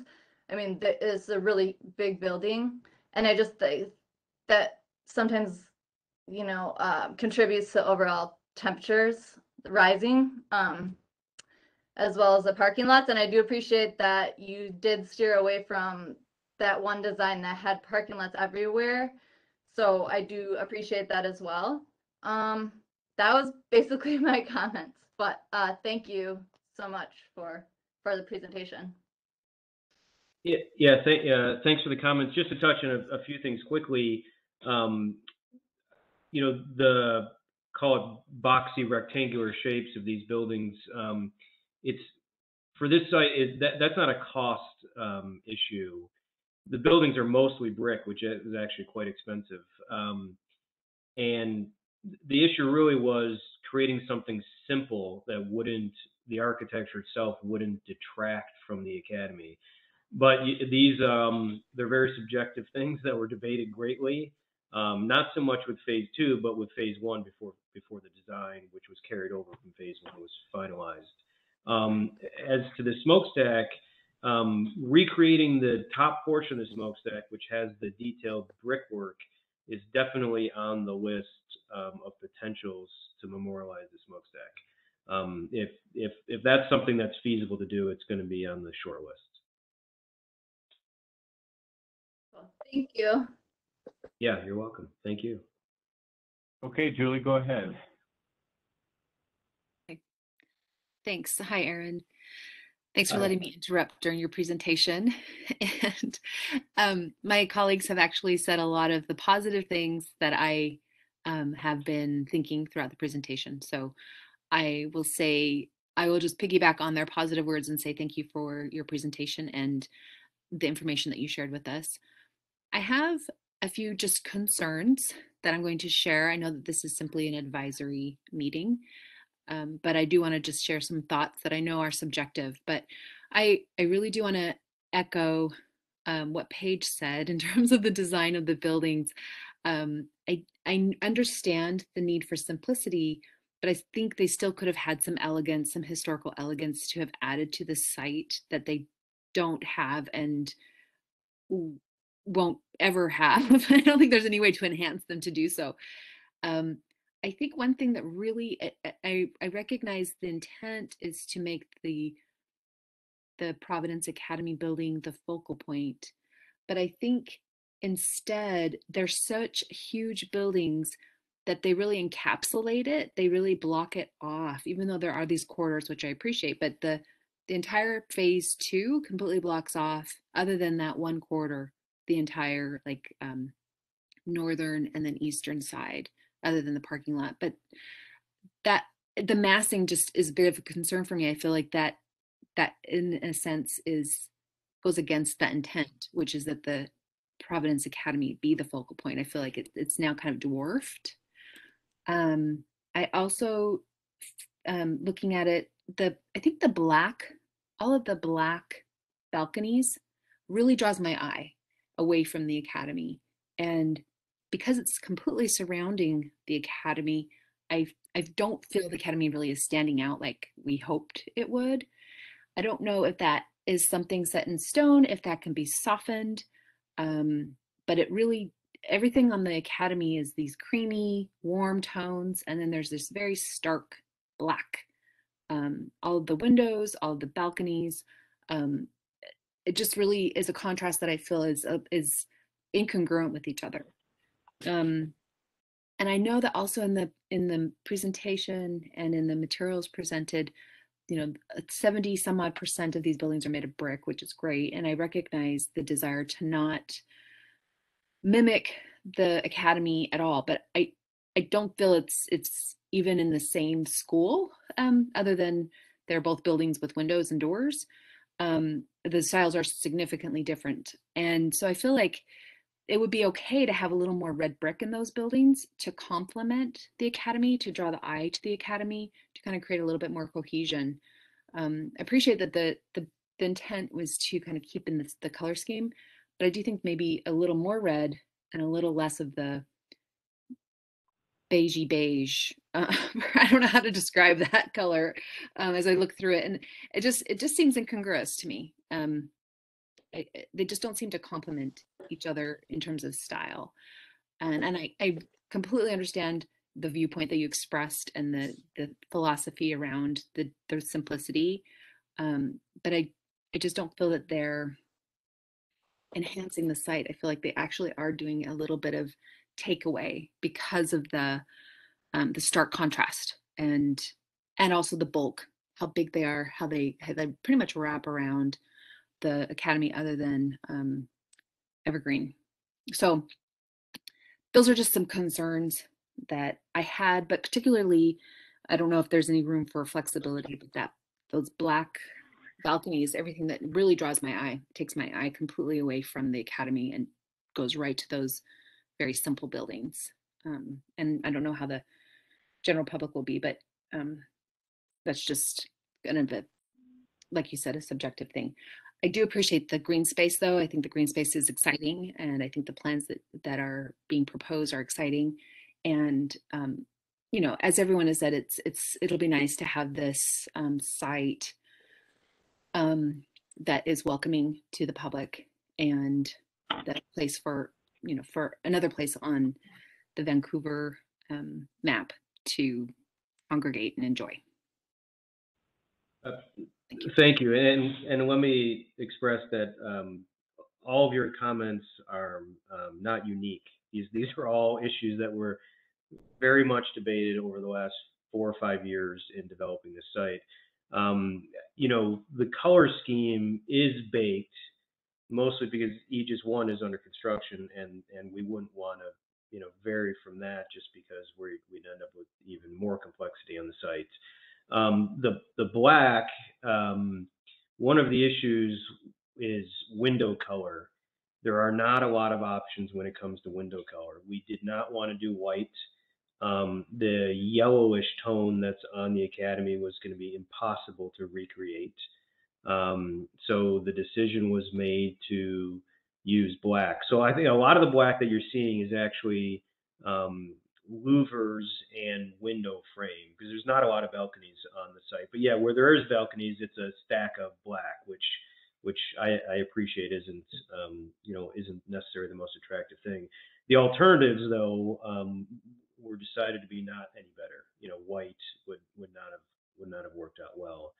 Um, the brick, um, that was how we debated as well as how much red brick do you want, and does uh, you know too much red brick take away from the academy? Um, so the decision was made that we should have highlights of red brick to tie it together, um, but that we needed contrast from the academy to the buildings that are surrounding it. Um, from a massing perspective, uh, we very much appreciate that phase two has a lot of mass. Um, that you know, that stems from creating the green space. And the issue really becomes, which to some degree is always part of the decision, economics in that if you want if you want to build a parking garage, um, you need a lot of density in apartments to afford that parking garage. They're just extremely expensive and in no way pay for themselves. So the income that will be derived from the parking probably pays for 25% of the parking garage. So the only way to pay for a parking garage um, is to have a lot of density. So the alternative was a lot of surface parking in smaller buildings. So essentially, the trade-off is the green space for the massing, the density.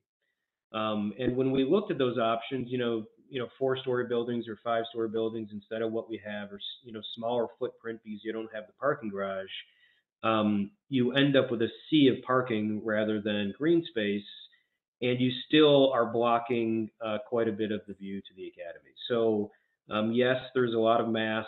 Um, you know, we in the Historic Trust analyzed it at length um, that we would prefer to have that mass and have this green space. It's just the reality of, of what we do. Um, so that yes, it, if you, if you didn't have the parking garage footprint, you'd have smaller footprints and shorter buildings, um, but you wouldn't have the green space. You'd have a lot of parking. Um, is the parking garage going to be public parking or is it going to simply be for the residents? It's intended for the residents. To the extent the residents don't use it, yes, it'll be made available to the public. Um, the reality is, I wouldn't expect the public to use it given its location, other than for people utilizing the academy. So academy tenants, or you know, people coming, you know, coming and using the academy in some fashion. Um, our parking ratio is, I think, like 0.85 for the development as a whole. So um, I expect most of it will be used by the tenants, um, but that remains to be seen. It depends how much you know mass transportation is you know continues to be used. Whether the bridge is done and mass transportation is made more available, um, but at this point, I, we expect it to be used mostly by the tenants.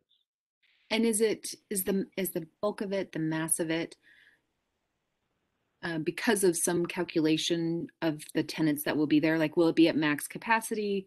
What, what capacity is it expected to be at, the size that it is with the apartments and so forth? Yeah, we expect it to be mass capacity. The, the parking is extremely expensive to build, so we wouldn't build one more space than we think we need for in, in that parking garage. Um, so so yes, we we expect it to be used um, Okay. and be full. then- Just to follow on to Paige's question, and I don't, I don't know if you answered, was the garden space on the roof, has there been any consideration of that? I think her point was well made and I won't repeat it, but if, if you might comment on. Uh, the any short, that. the short answer is no. Um, and the, the energy code in Washington is quite stringent and um, already adds a, a lot of cost, frankly, to just what we were doing a few years ago. And these buildings are, you know, very efficient. Um, everything will be LEED certified. We don't know if it'll be silver or gold yet, but it'll be LEED certified. Um, so no, that that is not intended. Um, green roofs um, are generally expensive because of weight. So it becomes that that really becomes the issue is structural cost that's associated with it. So um, you know, again, all these things are trade-offs of, of where do you spend the money and still maintain economic viability. Frankly, the by far the the most economically favorable option for this site was a lot of surface parking and and very little green space, which um, I just I you know I couldn't do. So we're not doing that, but there are limits to what you can do economically. Just one last question. Sorry, sorry, Paige. No, you're good. I thought that was me echoing. Sorry. You're good. You had said earlier if we do have some thoughts or suggestions for some of the artistic, um, you know, things that are on the table, how do we share those thoughts? And where, where is there a public forum somewhere? Um, no, but uh, you should just reach out to us. Um, so I'll share my contact information, and Annie in my office is the project manager for this project, and she likes nothing. She's probably listening right now. She likes nothing more than to talk about these art pieces. So, um, yeah, no, I mean it's it's uh, again, the, I am not the person for sure to be deciding, you know, what should be what with art in the creative process. Um, but we do have people involved, and we welcome, you know, we welcome all the suggestions. So I, we'll just make ourselves available to you. Thank you. Uh, the one last. Any question further I have. questions? Go ahead, Paige. Yeah, you moved the uh, entrance. You said you moved the entrance of the building to the west side of Building C. Um, the original was to have retail there, and you forgo uh, you abandon that idea. My my question just was, is there still going to be glazing on the northwest and south sides of the entrance as well? So then you can still kind of get a little bit more of that view into the green space? Yeah, so um, this this whole west end will still be what we call storefront glass. Um, Okay, cool. so large glass, and then this section here is is going to be uh, indoor outdoor terrace. So quite often that will be completely open space. Um, Very cool. there'll be some obstructions in there, but the intent is to keep it as transparent as possible. Great, thank you. I just, so this is Jan. Um, and between my colleagues, they've covered all the issues that I wanted brought up. I guess the one thing I would say about the green space, which is amazing, is, and we're taking out a lot of mature trees. And I, I realize when you, you know, do new green space, you put in relatively small trees. So it's not going to look like this picture right out of the gate. So I would really urge you to try to at least put in a few large scale trees so that it's not just, uh, doesn't look like we've mowed everything down and it's gonna take fifteen years for things to fill in. And that's all I have. The rest of it was covered, hear but you. you- yeah, I we I hear that um, that the landscaping has not the, the open space has not yet been designed.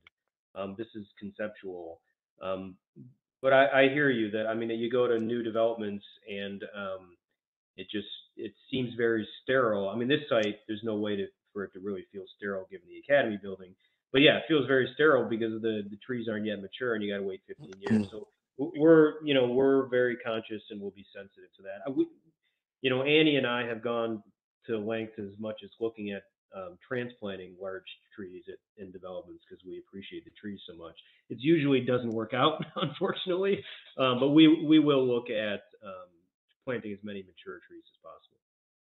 Yeah, it's too bad that the trees that are gonna be removed couldn't, I, I realize you can't hold on to a, a tree for eighteen months or two years while something's under construction, but it seems a shame to pull out mature trees and then put in tiny little ones, so so yeah, that would be appreciated if you could just uh, look at some way to make the landscaping look a little more finished right out of the gate. We will do our best. The the green space is um, you know, we've gone to great lengths to make this green space feasible, so we we um, we're gonna make it as nice as we can. Just a couple of quick comments. Um, I also want to thank you for the presentation. I thought it was excellent and it really demonstrates, you know, the thoughtful uh, process that you've gone through to develop, you know, the the vision uh, to this point. Um, so thank you for engaging with the community and with the city staff and all the stakeholders to to develop this to this point. Um, uh, uh, my, the comments from my fellow commissioners were all really well taken as well, and and particularly uh, with regard to Yeah. the roof of the building.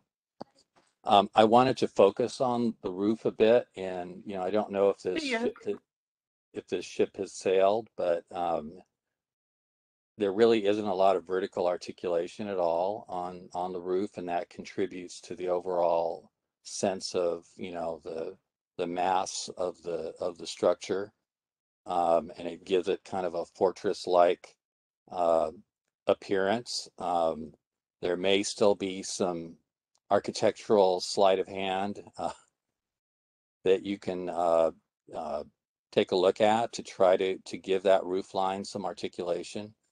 Um, I think that would help reduce that um, that sense of mass and the sense that that you know we're that the building is is going to just create this this wall if you break the the roof line a bit. Um, and on the the parking structure, uh, I don't see a lot of detail on what the exterior of the parking structure that is visible from um, you know the north and the east is going to look like. So if if you can you know take a look at what can be done to soften the appearance of that uh, from those vantage points as well, because it will be visible um, you know from from the north and from from the east. Um, and uh, I don't know if these discussions have been held with the city, but you know, because of the the location of this development and accessibility to existing transit and likely future transit options, seems like you could make a pretty good case for parking reduction um, to try to further reduce the the expense of the parking structure as well as the mass of of the overall structure. Um, you know, if if anywhere, if any place is going to have a parking reduction, uh, it's a place that's that's uh, pretty much in in a location like this, um, uh, particularly given the other uh, cost issues that are coming into play with uh, preservation of the historic elements of the site. Um, and then lastly, on the the uh, driveway, you know, into the site that uh, also the 93 foot view corridor. Um, whatever you can do with the um, uh, improvements to that um, driveway uh, in terms of the paving materials, the, the site improvements, landscaping, lighting, um, uh, pedestrian oriented amenities, et cetera, you can really focus on um, trying to think of that corridor as not just a driveway, but as really uh, a major uh, amenity and uh, pedestrian en- enhancement um, to the site.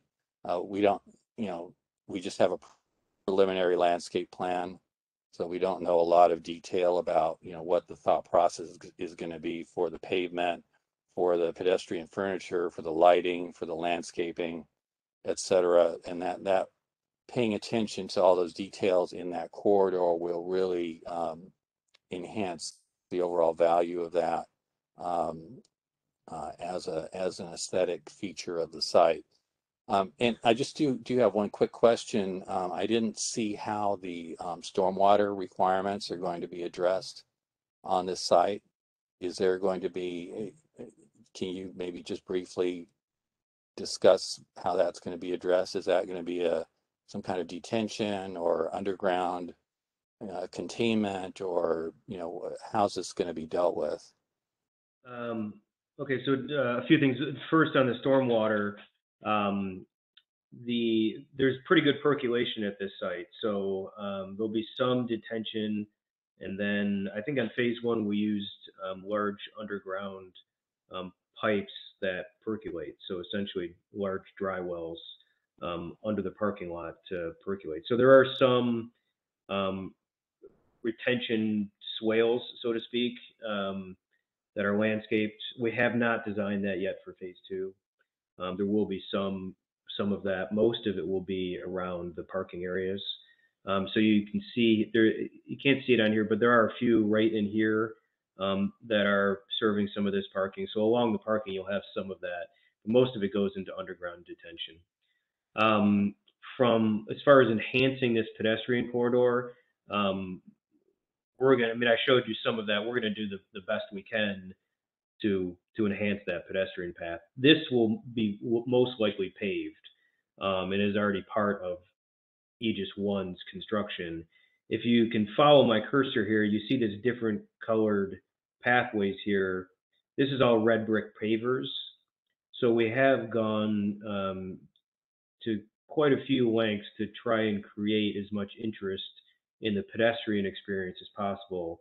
And you'll see a lot of that on the southern end here. This plaza is all red brick pavers, and we carried that across the, the parking lot here. So there's a pedestrian connection that feeds across from the plaza to what will eventually be some sort of a plaza in front of the academy. So we'll do some of that uh, similar stuff on this on the backside off 12th Street with that pedestrian with that wider pedestrian corridor.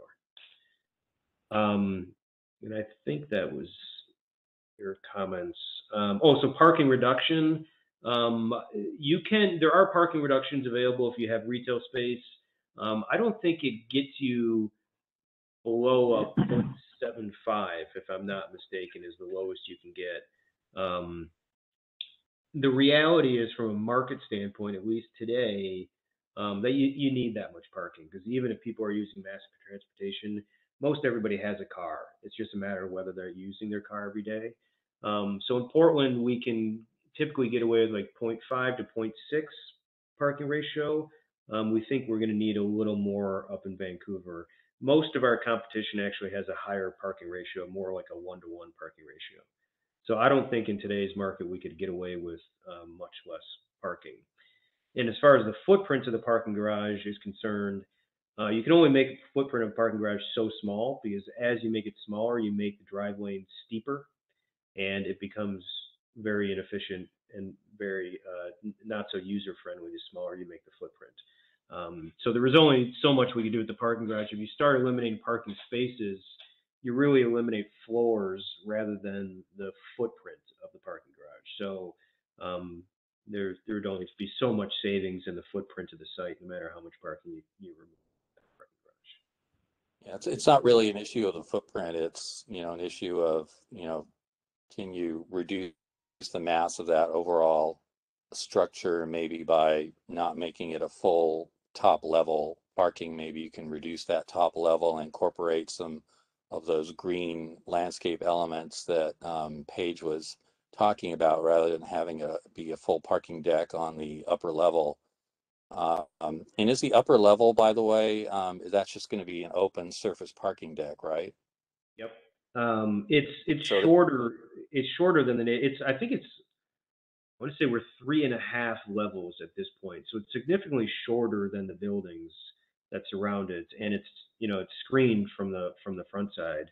Um, but yeah, uh, you know, concrete structure um, to create green roof is just economically not viable. You'd, you'd be you'd be better off trying to put green roof on the on the buildings than on the parking garage. It's just the parking garage is extremely expensive. Okay. Well, thank you for your comments. Yeah, thank you. Thank you, everyone. Um, Does any member of the public have a comment? Staff will now provide instructions on how to make public comment for those joining us through their computer, mobile device, and for those joining by telephone, audio only. Susan? Okay, let me switch the presentation over quick.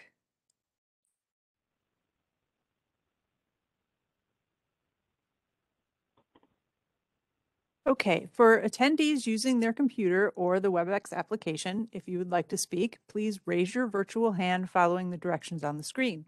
For attendees using the telephone, you need to press star three on your phone's number panel to raise your hand. Staff will acknowledge those who have raised their hand and unmute you, unmute you one at a time. When you have finished your comment, please lower your hand. On a co- computer, you can do this by clicking on the hand icon again.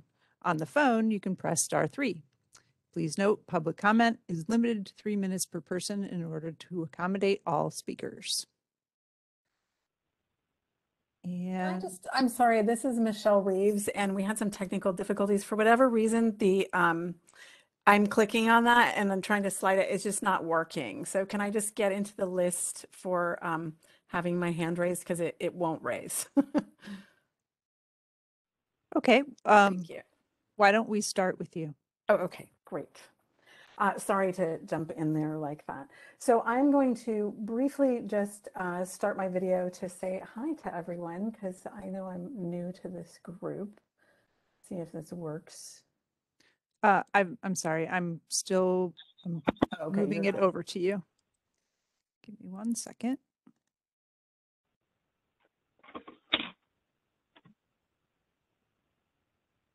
All right. And is share working? I'm sorry.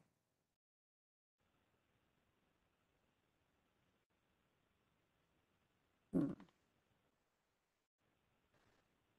No, screen share wasn't grayed out before, but now it is. Are you able to? Um, for some reason, I'm having troubles. Well, if you want to let like Lee or John go, that's fine, and we can see if we can tackle this. Yeah, maybe we can allow somebody else Okay, to get started and I will work on that while we uh, And there was someone with their hand up.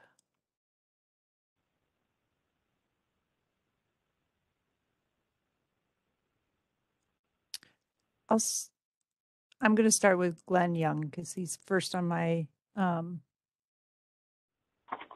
on my list. Glenn, you should be unmuted now. Can you hear me? Yes. Yes. Okay. Um, I just wanted to clarify real quick, and I apologize. Um, the, the agenda is a bit unclear. Am I only able to testify on this particular project or this particular hearing, or is there other issues that I can speak to? This hearing only, please. Okay. All right. Uh, I had more information for other things, but I will say that, um, you know, I've been in- involved in some of this process and it's been a rough go. There's no question about it. It's a challenge. It's something that's very, um,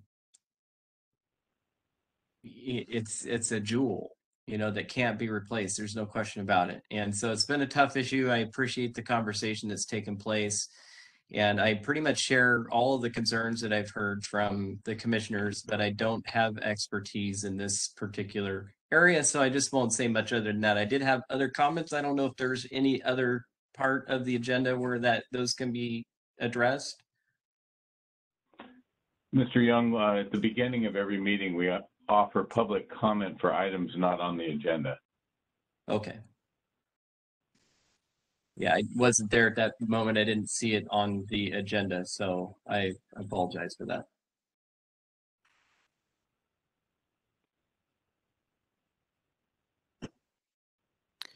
Okay. Uh, Yes, it's, it's right after uh, approval of the minutes and before we had the public hearing on the certificate of appropriateness for the old city cemetery. And during that period, uh, Holly Chamberlain gave the update for the, uh, for the trust. So we have had that. Okay, I will, I'll, I'll try to hit you at the next meeting then. Thank you. Appreciate it. We, we will welcome you uh, at the March meeting. Thank you very much.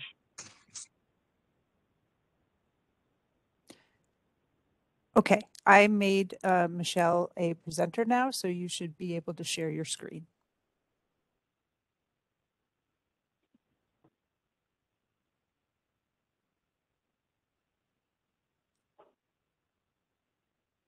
And Michelle, if you're speaking, you are muted.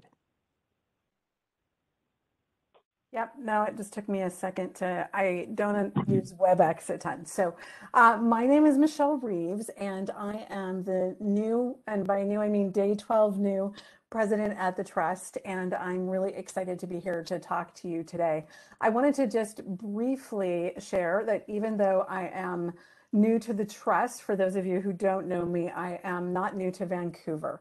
So for the last 12 years that I've spent working in adaptive reuse and economic development, um, I have collaborated very extensively with downtown in Fruit Valley on Fourth Plain and in the Evergreen School District. So today I want to share five reasons with you why the Trust supports this project. And the first is because it creates appropriate urban fabric for a downtown, which is where this project is located. So for a downtown to be successful, it must have connectivity at the ground level with buildings built up to the sidewalk and next to each other. So adding this next new round of buildings is how cities have always developed. And it just reminded me of when I was in York, England, right before the pandemic. You walk around and you think, you know, yeah, these buildings are pretty old. And then you just round a corner and you see something that's much older. So adding the new next to the old is how we have always changed and expanded our cities. The second reason we support the project is that it brings over 18 hours of activity to this superblock site. So to be economically successful and safe, downtowns have to have eyeballs on the street, as Jane Jacobs liked to point out. All phases of work on this site together with the Academy bring activity and eyeballs through retail, service, office, and residential uses. Reason number three we support this is that the intensification of this is adding hundreds of housing units. And in our region, we all need to be doing everything we can to increase our supply of all types of housing to meet increased demand. The fourth reason that we support this project at the Trust is that although the site is being intensified, the amount of land area devoted to parking is being massively decreased from what it was, which was roughly the giant red cross housed area that you see behind this older photo of all the parking around the Academy. The fifth reason that we support this project is because there will be the green space that everyone's been talking about in the back of the academy. And after we upgrade the front landscaping, there's going to be this lovely park-like setting for the public to enjoy and appreciate the academy from all kinds of different viewpoints. So the last thing that I wanted to touch on here today, it's kind of a little bit of a, um, I guess I would call it a fangirl moment for Vancouver. So it is really, really tough it's a tricky proposition to tackle these kinds of large historic buildings, like the one pictured here, which is almost the same square footage as the Academy, uh, because it takes tens of millions of dollars in building wide upgrades just to make them not fall apart and you get no offsetting rent for the, those kinds of investments. So this is the former sanatorium at Hot Lake Springs in La Grande in Eastern Oregon. And private investors over the last few decades have managed to fix up some of that on the outside. But there's been a lot of outbuilding loss, largely due to vacancies, and then the inside remains mostly either not updated or not usable. So the fact that you guys as a city were able to get such an important asset in the hands of a preservation focused nonprofit while fostering a development project that is so responsive to the surrounding downtown is fantastic. And I just want you guys to know that I am 100% going to be sharing this nationally as a great example of how to save a building and how to improve a downtown. And it is exactly why I am super excited um, to be working with you guys. So I wanted to stop screen sharing. Let me, well, let's see. Mm-hmm. Can I get out of screen share, Susan? Oh, here we go. Stop sharing. Sorry. I am not a WebEx whiz. I'm a Zoom whiz. Um, so that is the end of my testimony, but I wanted to see if it would be okay if I took another less than three minute window to read Sister of Providence Suzanne Hartung's letter into the record as separate testimony, because she was hoping to be present tonight, but she had a conflict arise and was not able to be here. So if that would be okay, I would like to do that. Been provided to us as part of the public testimony. So we already have, unless it's a different letter than the one that she originally sent. So um, I'm not sure if if that's so. I I just wanted to ask, and if if you guys don't want me to, that's totally fine. I I think that last time it was read into the testimony, and she wanted to be here, so I just wanted to offer that out there. But I know it's getting late, so happy to not do it. Andy, up to you. We were all in, we were all in receipt of the letter, so we've, Okay. we've read it and it's available. Perfect. Okay, then that's the end of my comments. Thank you very much.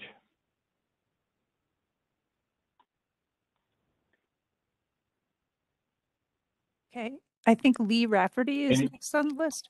Oh, my apologies, Andy. Okay. No problem. I was just about to ask if there was any further comments. Okay, Hey, Lee. hello, you now- everyone. I'm uh, my I'm croaky. I'm sorry about that. I haven't talked much today, and I've been listening with lots of interest to what's been shared. Aaron, I loved your presentation. I got to see a lot more than I had seen earlier of phase one. the term that I have learned tonight that I like the most is compatible juxtaposition. I think that's a, you know, that is a good one. Um, I started my downtown career 41 years ago in a building that was torn down to make room for the library. I drive past this site every day. So at least for 41 years, I have loved, I have loved, loved, loved this site. And I've wondered, you know, how could it be? Change is always so hard. And um, sorry, I've got a call coming in. Of course, that's what happens. Anyway, so for 41 years, I have loved this site and been very involved with it. And um, I thought, well, change is hard for everybody. How are they going to turn this site into something that is really welcoming and interesting and connects past, present, and future? This is this is the big challenge. And like Aaron has said, it's easier said than done. Um, so 41 years later, here I am, I'm retired from my jobs in downtown Vancouver, but I do have the privilege of serving on a commission that the city of Vancouver has developed. That's the Culture, Arts, and Heritage Commission. And additionally, I serve as the chair of the Public Art Committee that Aaron mentioned earlier. And we were able to see a presentation of fresh, very appropriate, very respectful art that has been developed for this site. And I'm excited to tell you, yes, we unanimously accepted their um, their ideas for what would be brought to public art in that in this space. It is a, I am really impressed with what Aaron has presented. I think the storytelling is excellent. I think the engagement is excellent. The variety of artistic pursuits and disciplines, excellent. The sight lines, yes, we're adding a lot to the site, uh, site, S-I-T-E, and it's going to create some barriers. But the sight lines that have been created, I think, are really appropriate and important. I think that the buildings have presented, they're a canvas. This is this is a place where we can put more interesting things. I mean, give me a parking garage any day and we'll find a way to make it interesting. Um, I, I just am very excited about all the possibilities here. It's fresh, uh, it will be engaging, and I think it's going to be most of all in what we're concerned about in this meeting. It's very, very respectful of the history.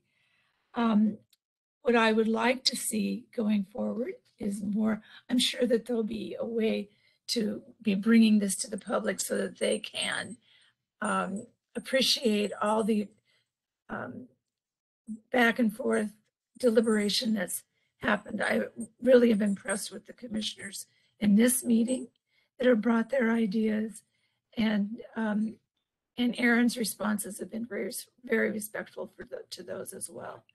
I am, as a private citizen, as somebody who has worked with Michelle previously on how to create that urban fabric that she mentioned earlier, how to create um, strong nodes that will connect from one to another to create a downtown that is really well traveled and explored. I think this is excellent. And I'm so excited here 41 years after opening a business um, at 8, oh, let's see, it was 301 Evergreen Boulevard, across from Ron's Century House. and that's where I got my lunch. Andy, you know Ron Century House, yeah. Uh, now, I certainly do, Lee. uh, yeah, um, we've been around a while, haven't we? Uh, I am just, I'm really excited to see the next iteration uh, of this site and what it's going to bring to the city and to visitors and our residents. I think it's outstanding. Change is hard, but I think this is pretty well thought out change and it will pencil. There you go. Thank you very much. Thank you very much yourself for uh, for contributing. Susan, any further uh, public comment? Yes, the next person on the list is John McDonough. Thank you, Susan, Chair Greg, and Commissioners. Uh, I'm John McDonough, President CEO of the Greater Vancouver Chamber of Commerce. And I want to thank you for this opportunity to provide comment on uh, phase two of the Aegis uh, development. Um, this is the third time uh, over the course of this development that I've had the opportunity to provide uh, supportive testimony. And as I've offered in the past, uh, the trust, I uh, historic trust, I think, is to be congratulated in its creative way of funding the preservation of the Providence Academy. It's unfortunate that more of the property didn't receive the attention uh, the Academy did over the years, uh, but we now have a steward of that facility and it will continue to help us to tell the Vancouver story. Regarding phase two of the development, uh, around the Academy building, I'm impressed with uh, Marathon's commitment to have the new structures be reflective of the original, as a number of the other uh, speakers have addressed, as well as the incorporation of that uh, green space in the interior of the campus, which will allow visitors to casually enjoy the restored academy. Lastly, the activation of this portion of downtown will add vitality to the surrounding businesses and through the new businesses that will be added. Especially coming out of the pandemic years, customers who are local and can be regular supporters will provide the trade that will assure the sustainability of the uh, business community in downtown. Happy to address any questions you might have of me, and I encourage your support for phase two of the plan at the Academy site. That's all I have. Thank you. Thank you, sir.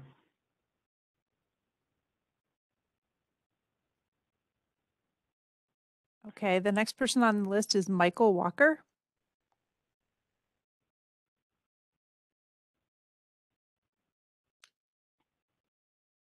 Hi there, can everyone hear me?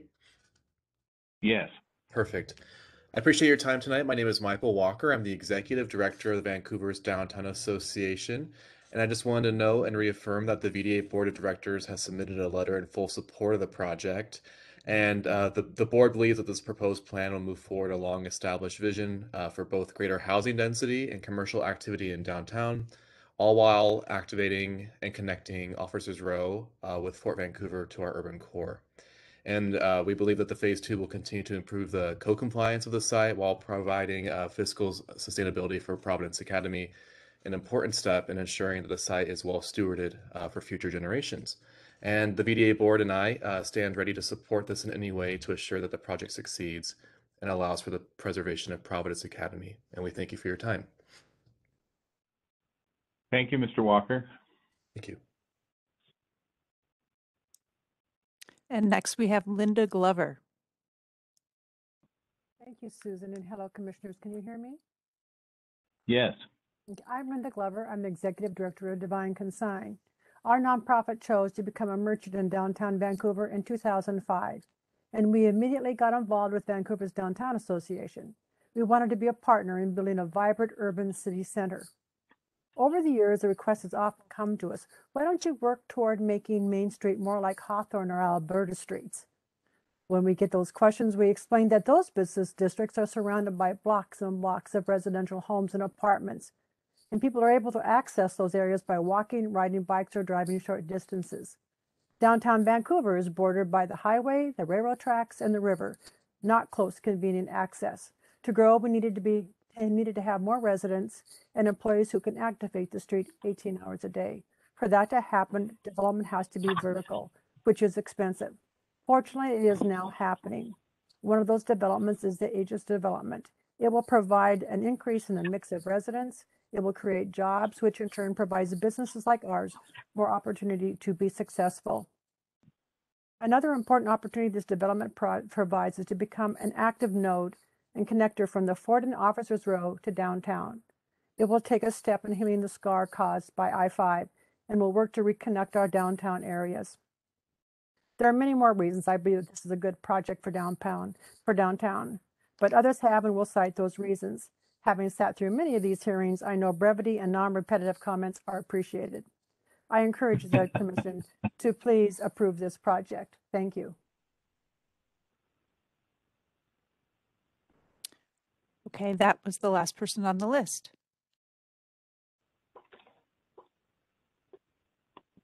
Thank you for marshaling all those through so well, Susan. You did a great job. Thanks. Um, Keith, did you have any further comments? Uh, the, the only thing I'll say is I'll just uh, take into consideration the comments in regards to the trees. I'll work with the applicant to identify where those trees are again. In particular, the code does say 30, 30 foot tall trees, so we'll we'll look closely at that. And if nothing else, definitely make sure that we make appropriate findings um, and and how that would be mitigated in, as far as the planting. And then I'd also offer up the urban forester is also a good um, resource for for tree planting, so we can also uh, discuss that with him as well. So that that's all I have. Thanks very much. At this point, colleagues, the commission will now deliberate. And following deliberation, I'll accept a motion for a recommendation to the city of Vancouver. And so uh, please say your name when making a motion or a second so the uh, staff can record it. And we'll um, follow our tradition of uh, crafting uh, a recommendation as we go and uh, accept input from uh, all the members of the commission. And so I would open it up to my colleagues for for some thoughts from which we can form this recommendation.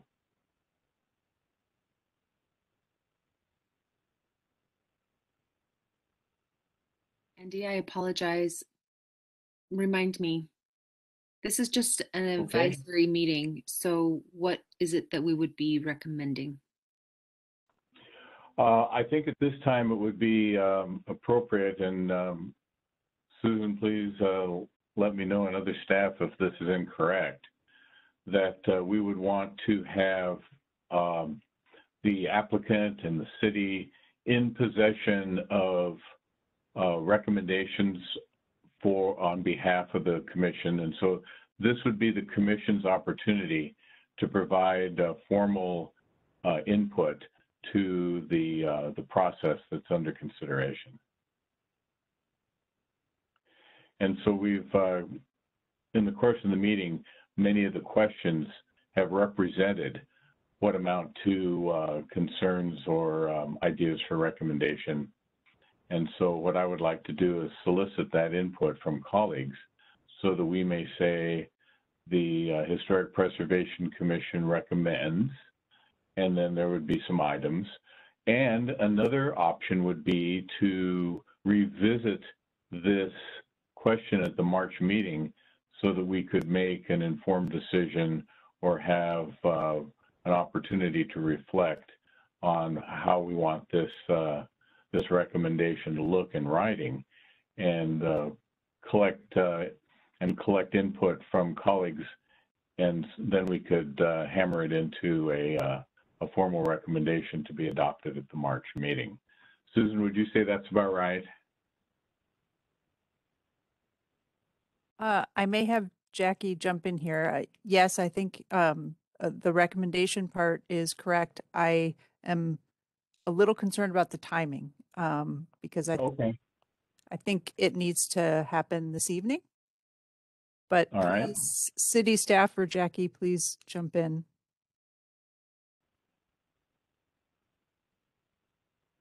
This is Keith Jones. Um, so we, we do, we do, we are obligated to make a decision on this and, uh, the, the timing of that would be the, the end of this month is, is, uh, what we're, we're looking at rendering our decision. So we would, we would like, uh, we would like the commission to make a motion this evening if, if possible. And again, th- this is a staff decision. I mean, we certainly, uh, want to consider and have listened to the comments tonight and we'll certainly consider any any motion the commission makes in rendering that uh, written decision.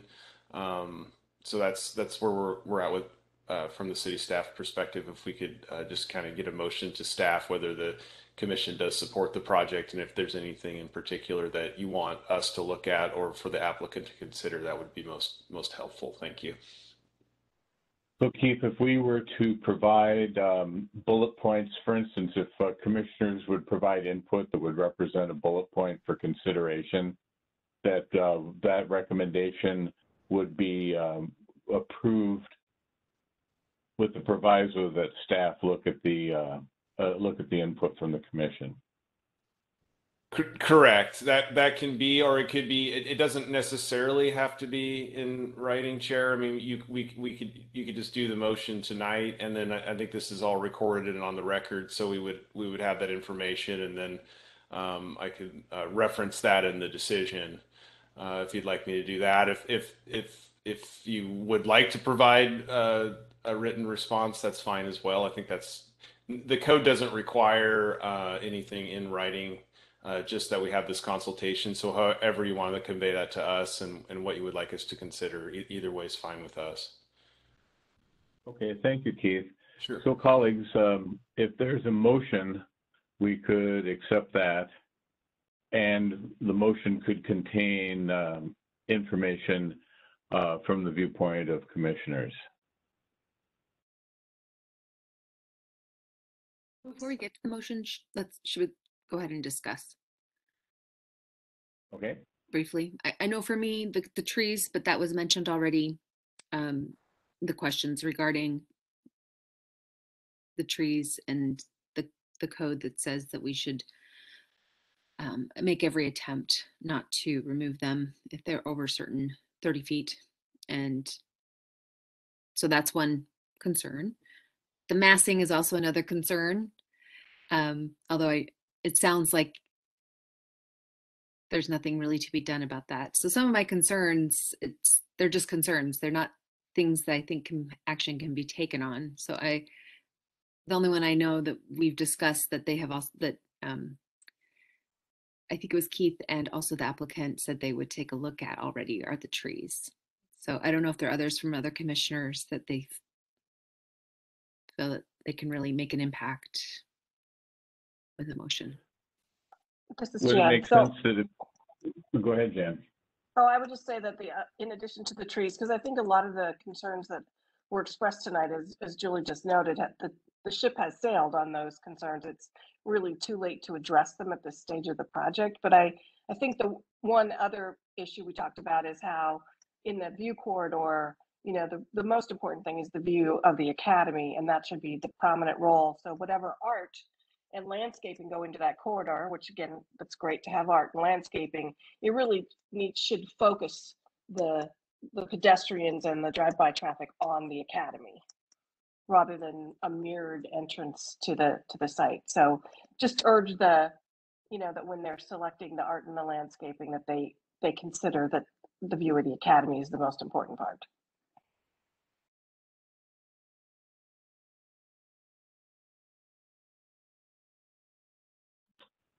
Further Dan, that's what I from was- colleagues, please. I'm sorry, I didn't hear it. I didn't catch that. Oh, I was going to say what uh, I was going to mirror what Jan said that you know we're really reviewing them based on this overlay code and and the trees and the and the and the view corridors are really um, sticking points with the code um, and really emphasizing you know keeping the academy the focus and preserving as many trees as possible because I have noticed in downtown Vancouver a ton of trees coming down for all of these big buildings projects that are going on. And then they plant these little baby trees. And uh, I, it's been really i've been really upset by it uh, in downtown vancouver. Um, so i would hope that we could save as many trees as possible Would there uh, be a sense that we could uh, move to uh, recommend, provided that the staff take the considerations, concerns, and questions that commissioners raised during the course of the hearing be included? Or that, that uh, the concerns, questions, and commentary that uh, commissioners provided be taken into consideration as the city moves forward. I think that's an appropriate recommendation, so I'll make that motion. Okay, so it's, I'll try to restate it, Jan. So it's been moved that the Historic Preservation Commission uh, approves the proposal with the proviso that staff take the comments, questions, and concerns voiced by individual commissioners and as a collective body into consideration during the course of future deliberations or The decision uh, making. future decisions. Yeah, the future decisions. Just a question on, on, or a comment on that. Um, I agree completely. All the, all the comments from the commissioners should be, you know, given to staff for consideration. Um, but the applicant and staff, I think, were also asking us specifically to look at options one, two, and three in terms of the treatment of that view corridor or the access corridor, and if we had any specific feeling about any one of those options, uh, maybe we could include that as part of our motion as well.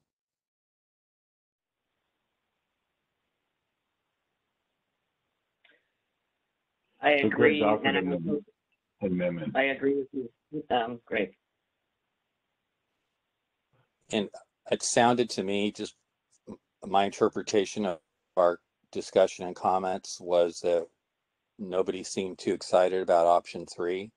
Uh, and, and I, I didn't get a, a, a really uh, sense of a, a lot of enthusiasm for option two. Um, so, and, and option one, I think we were concerned that the way it was depicted made it uh, look, you know, like we are going to have a lot of long poles there when I, I think we would like to see maybe something a little more low key that wouldn't interfere with the, the views of the academy, but would still provide some, you know, in additional educational opportunities, directional opportunities, and you know, just creating a, a more of an inviting entry into into the project. So it sounds like we're more leaning toward maybe a, a, a lower key version of option one, but we may not have all of the details in front of us at this point to to completely, you know, sign off on that. So maybe we can, as part of our motion, if the commission agrees, say we're more interested in the type of the general thrust of option one, but you know, subject to you know, addressing some of the concerns that we had and seeing some more of the details. Can Would you like to, uh, Greg, would it uh, be uh, possible if we um, w- w- had the opportunity to revisit those options or possibly uh, review uh, additional options? You know, again, we are advisory on this and the decision is going to be made by the end of the month. So if, if Aaron is willing to provide us contact information so that if we had suggestions, we can relay those to his team. But I, I don't think asking them to come back with a, a revision of the art that, that they're going to propose for the entryways is probably going to be appropriate. So I, I would I also like Greg's Aaron- suggestion that, I like Greg's suggestion that we're, it looked like the commission was leaning towards option one with maybe, uh, you know, less focus on really tall um, structures so that, again, the focus is on the academy. Can I also just make a comment? I do think it's a little subjective though too, because I actually I like option two on the left. I do like the op the idea of thresholds and entering new spaces through thresholds and archways kind of provide that transition between a noisy urban environment and transition into a more lush, peaceful, natural landscape. And so I do like the concept of option two doesn't necessarily mean they need to reflect this exactly. So I do think there's some discussion to be had if that's the intent is to is to get us to narrow down which option.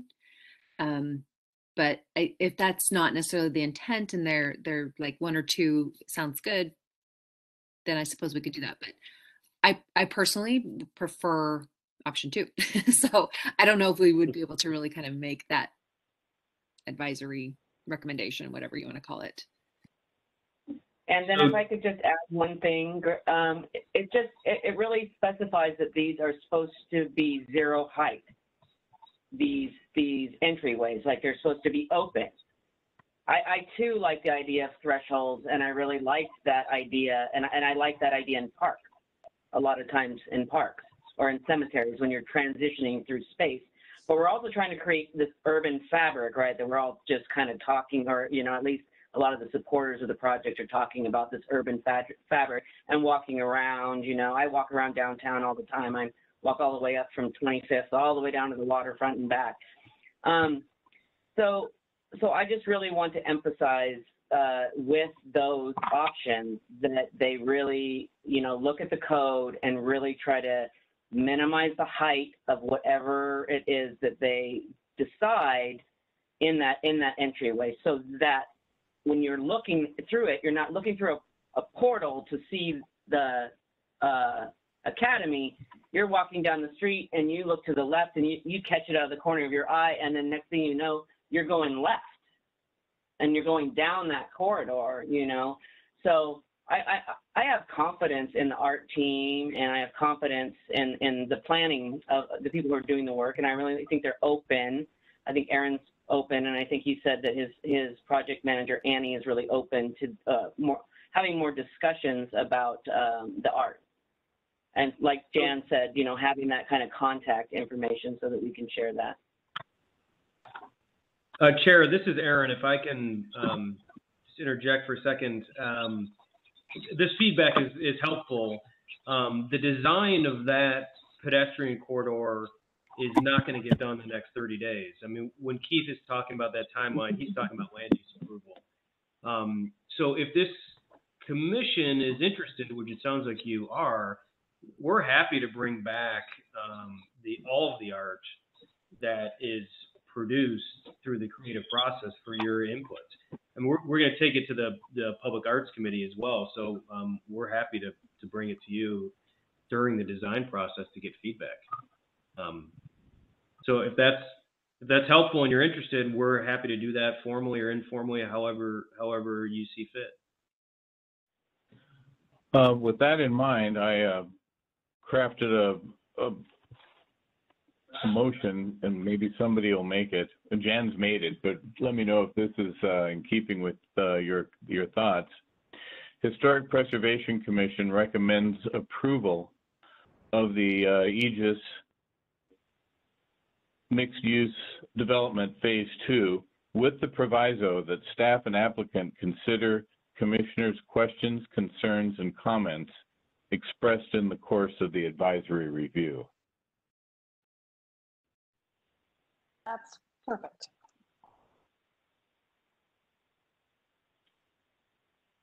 Is there a second? I will second that motion. Thanks, Morgan. Okay, so it's been moved and seconded that Historic Preservation Commission recommends approval of the Aegis Multi-Use Development Phase 2 with the proviso that staff and applicants consider commissioners' questions, concerns, and comments expressed in the course of the advisory review.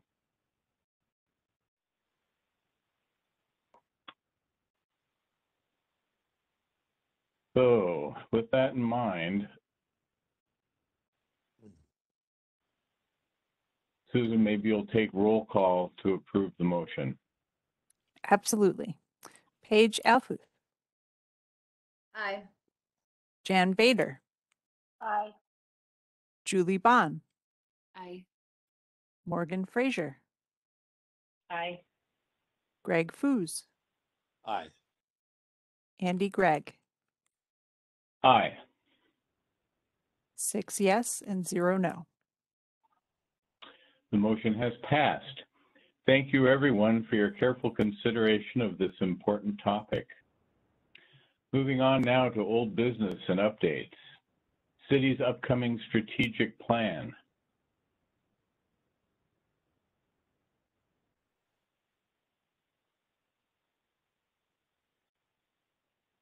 I think Jason is going to speak about this item.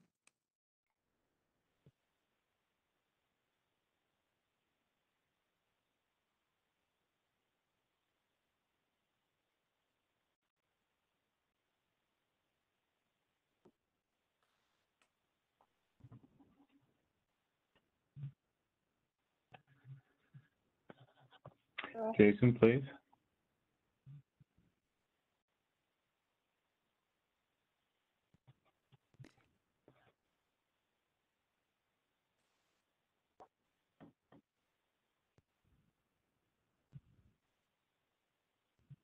And sorting that out, this is Jan. Due to my technical difficulties tonight, I've had to do this on my cell phone and I am about to, my battery is about to die here. So um, I'm gonna hang in as long as possible, but don't be surprised if I, I cut out all of a sudden because I'm, I'm down to like 4%. Thank you for the, uh, for the heads up. Jason, are you there? I am here. Can you hear me? We can. Okay, sorry about that. I don't know what's going on. I, I put headphones in and for some reason now it's working. My apologies.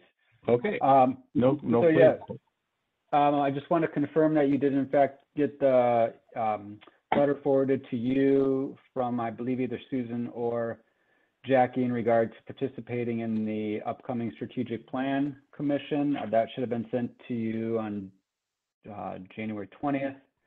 the deadline is closed on January 25th. Um, so I don't know if that, I apologize if that came too late in the game for some of you to take advantage of that, but I did hear back from um, city staff today that there will be opportunities to participate in a volunteer role outside of actually being part of the commission. So I just wanted to to bring that to your attention. And if you had any questions or, or needed a point of contact, I would be that for you. Thank you very much. And there's to be a comment on rules and policies. Hi there, this is Bart. Can you hear and see me? Yes. Uh, good evening, everyone. Um, I know it's been a, a long evening so far, so I won't take too much of your time. Um, this is a uh, topic somewhat near and dear to the commission's heart, so um, Jackie and Susan and I wanted to to bring it to everyone's attention. Um, as you are all probably more aware than me because you've been on the commission and I'm the newer employee here, the uh, staff started uh, working on the uh, HPC rules and procedures uh, update for uh, the rules and procedures that uh, both the program itself and, and specifically the commission uses outside of the county code itself. Um, and last summer, a previous employee did a presentation at the August meeting. Um, I've reviewed that meeting. Uh, Susan has uh, reviewed that as well. And um, so we see the, the decisions and comments that were made about how um, uh, the commission wanted to approach um, amending and, and revising the rules of procedure, rules and procedures at that time. Um, so bring, coming up to the present, uh, that, that project kind of got put on hold because of staffing and COVID and the holidays. But here we are in the new year with capacity and we've got it on our, uh, our uh, workload to, to work on the project. And so the point of, of bringing it up at this point in the meeting is not to get into any specifics about it, but simply to bring it back to the commission's attention and let you know that um, we are currently working on it in the background and ready to begin bringing um, sections of the rules and procedures to the commission for consideration um, under the plan that was formulated last year, uh, which basically was uh, kind of a divide and conquer plan, so to speak. Um, that's what Susan and I took away from it, that you would um, prefer to look at the rules and procedures as a group together rather than creating a um, subcommittee or work group, although you still have that option if that's what you'd like to do. And um, if you want to look at them all together, then we could bring them in manageable bite-sized chunks, so to speak, um, at each subsequent meeting, as long as it's not a very thick meeting with lots of applications, in which case we could do a special work session or something. Um, Bart, I so- think it was, um, th- I think it was our decision to uh, take it in pieces with everybody present so that we didn't have a subcommittee who became masters of the universe and everybody else was unaware. And especially since uh, we, we haven't met for a while, but I would like to make it a, uh, um, a chapter or an agenda item that we could go through uh, one at a time. And that's great. And we assumed that, that the commission would um, want to continue along that road. Um, But that was the main purpose of bringing it up in, in uh, this section of the meeting was to make sure that there weren't any new thoughts, a, a change of course, um, and so that we didn't hit you out of left field uh, for the agenda of the next meeting, having that be a line line item to work on because it it will, as you guys know, take take some time. Even if staff does most of the heavy lifting in the background, it's still going to take a fair amount of your time to to work through it and and make your comments. Thank you.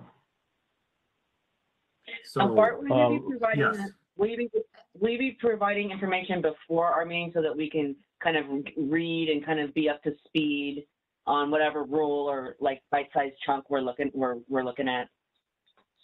Ab- Absolutely. I, I would, um, do- we would basically preemptively give everyone information about what we plan to work on and make sure that everyone was okay with not only the subject matter, but, but the order and the timing. And, and so that, um, then we could just use it the same way that you would get a regular agenda item. You would have time to review it, come up with notes and comments so that um, by the time we got to the meeting, it would be a productive and relatively efficient process. And one thing that I would like to add, having had time to go back and look through all the work that was done by staff over the last few years in stops and starts on this project, is that an awful lot of good work has been done already. So Susan and I have no intent of reinventing the wheel if it's not necessary. Um, people that are on this call tonight have made great comments, and, and so um, we would like to just pick up where we left off with some fresh eyes and push this over the finish line this year, as, as long as the commission's okay with that. Thanks very much. Okay. Any other thoughts from any of the other commissioners on this one? Okay, great. Thanks, Bart. Rules and policies? Uh, I think that's what we just talked about. Oh, was it? My, oh, I'm sorry. Um, now we have committee reports. Uh, the underrepresented populations. Um, in the course of um, talking with uh, April Busby at the museum, I had a discussion with her about uh, bringing underrepresented uh, communities more into the spotlight. And my effort had been to um, use National History Day with the schools as uh, a vehicle. But that's been uh, frustrating and has been frustrated because National History Day will be taking place virtually this year. And part of the dynamic, um, part of the dynamic impact that uh, National History Day can make is that it's in person with exhibits and papers and presentations. And so um, I, my report is brief. It's that uh, it, it's been an up, it's been an uphill climb on that. And Susan, how about the uh, overlay, uh, the, the Heritage Overlay District work?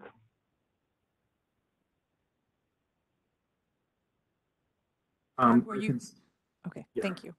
Sorry to talk over you. There's some delay here. Uh, I can speak to That's okay. that. Um, uh, very briefly, um, so our last meeting was, uh, in late, uh, November. And, um, after, uh, we, we had some, some action items that we, uh, have made progress on, uh, including continued outreach to, um, stakeholders, including, um, with Brad at the museum, and he has facilitated a digital handshake with me and um, with Joe Squires as as we discussed. Um, and so we're we're ready to um, bring Joe to to speak uh, with with the committee uh, whenever it's uh, when we can figure out a good meeting time. And um, I have uh, individually conferred with uh, the, the committee members, and so no one else has had any individual contacts uh, with, with the city. So the next step would be to, to move forward and, and start uh, that true outreach with, uh, with city staff and, and see where that, that takes us. And I would be um, more than happy to arrange another um, uh, meeting of the committee if the committee wishes to do so in, in the next month or whenever it's appropriate. Thanks very much. We have now come to good of the order, in which uh, we have an opportunity to express our thanks to colleagues. And I would like to uh, express my thanks to staff and commissioners uh, for their excellent work at tonight's meeting. It was uh, was was really great. Just want to say that. Thank you very much.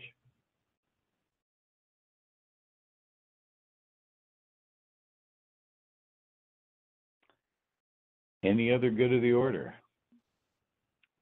I just Hearing wanted to say none. thank you to Oh. Julie. Sorry? I wanted to I say didn't thank get you to that part. Julie for bringing up that brief, uh, 27. I sent that to Susan. Oh, so that She right. can share this.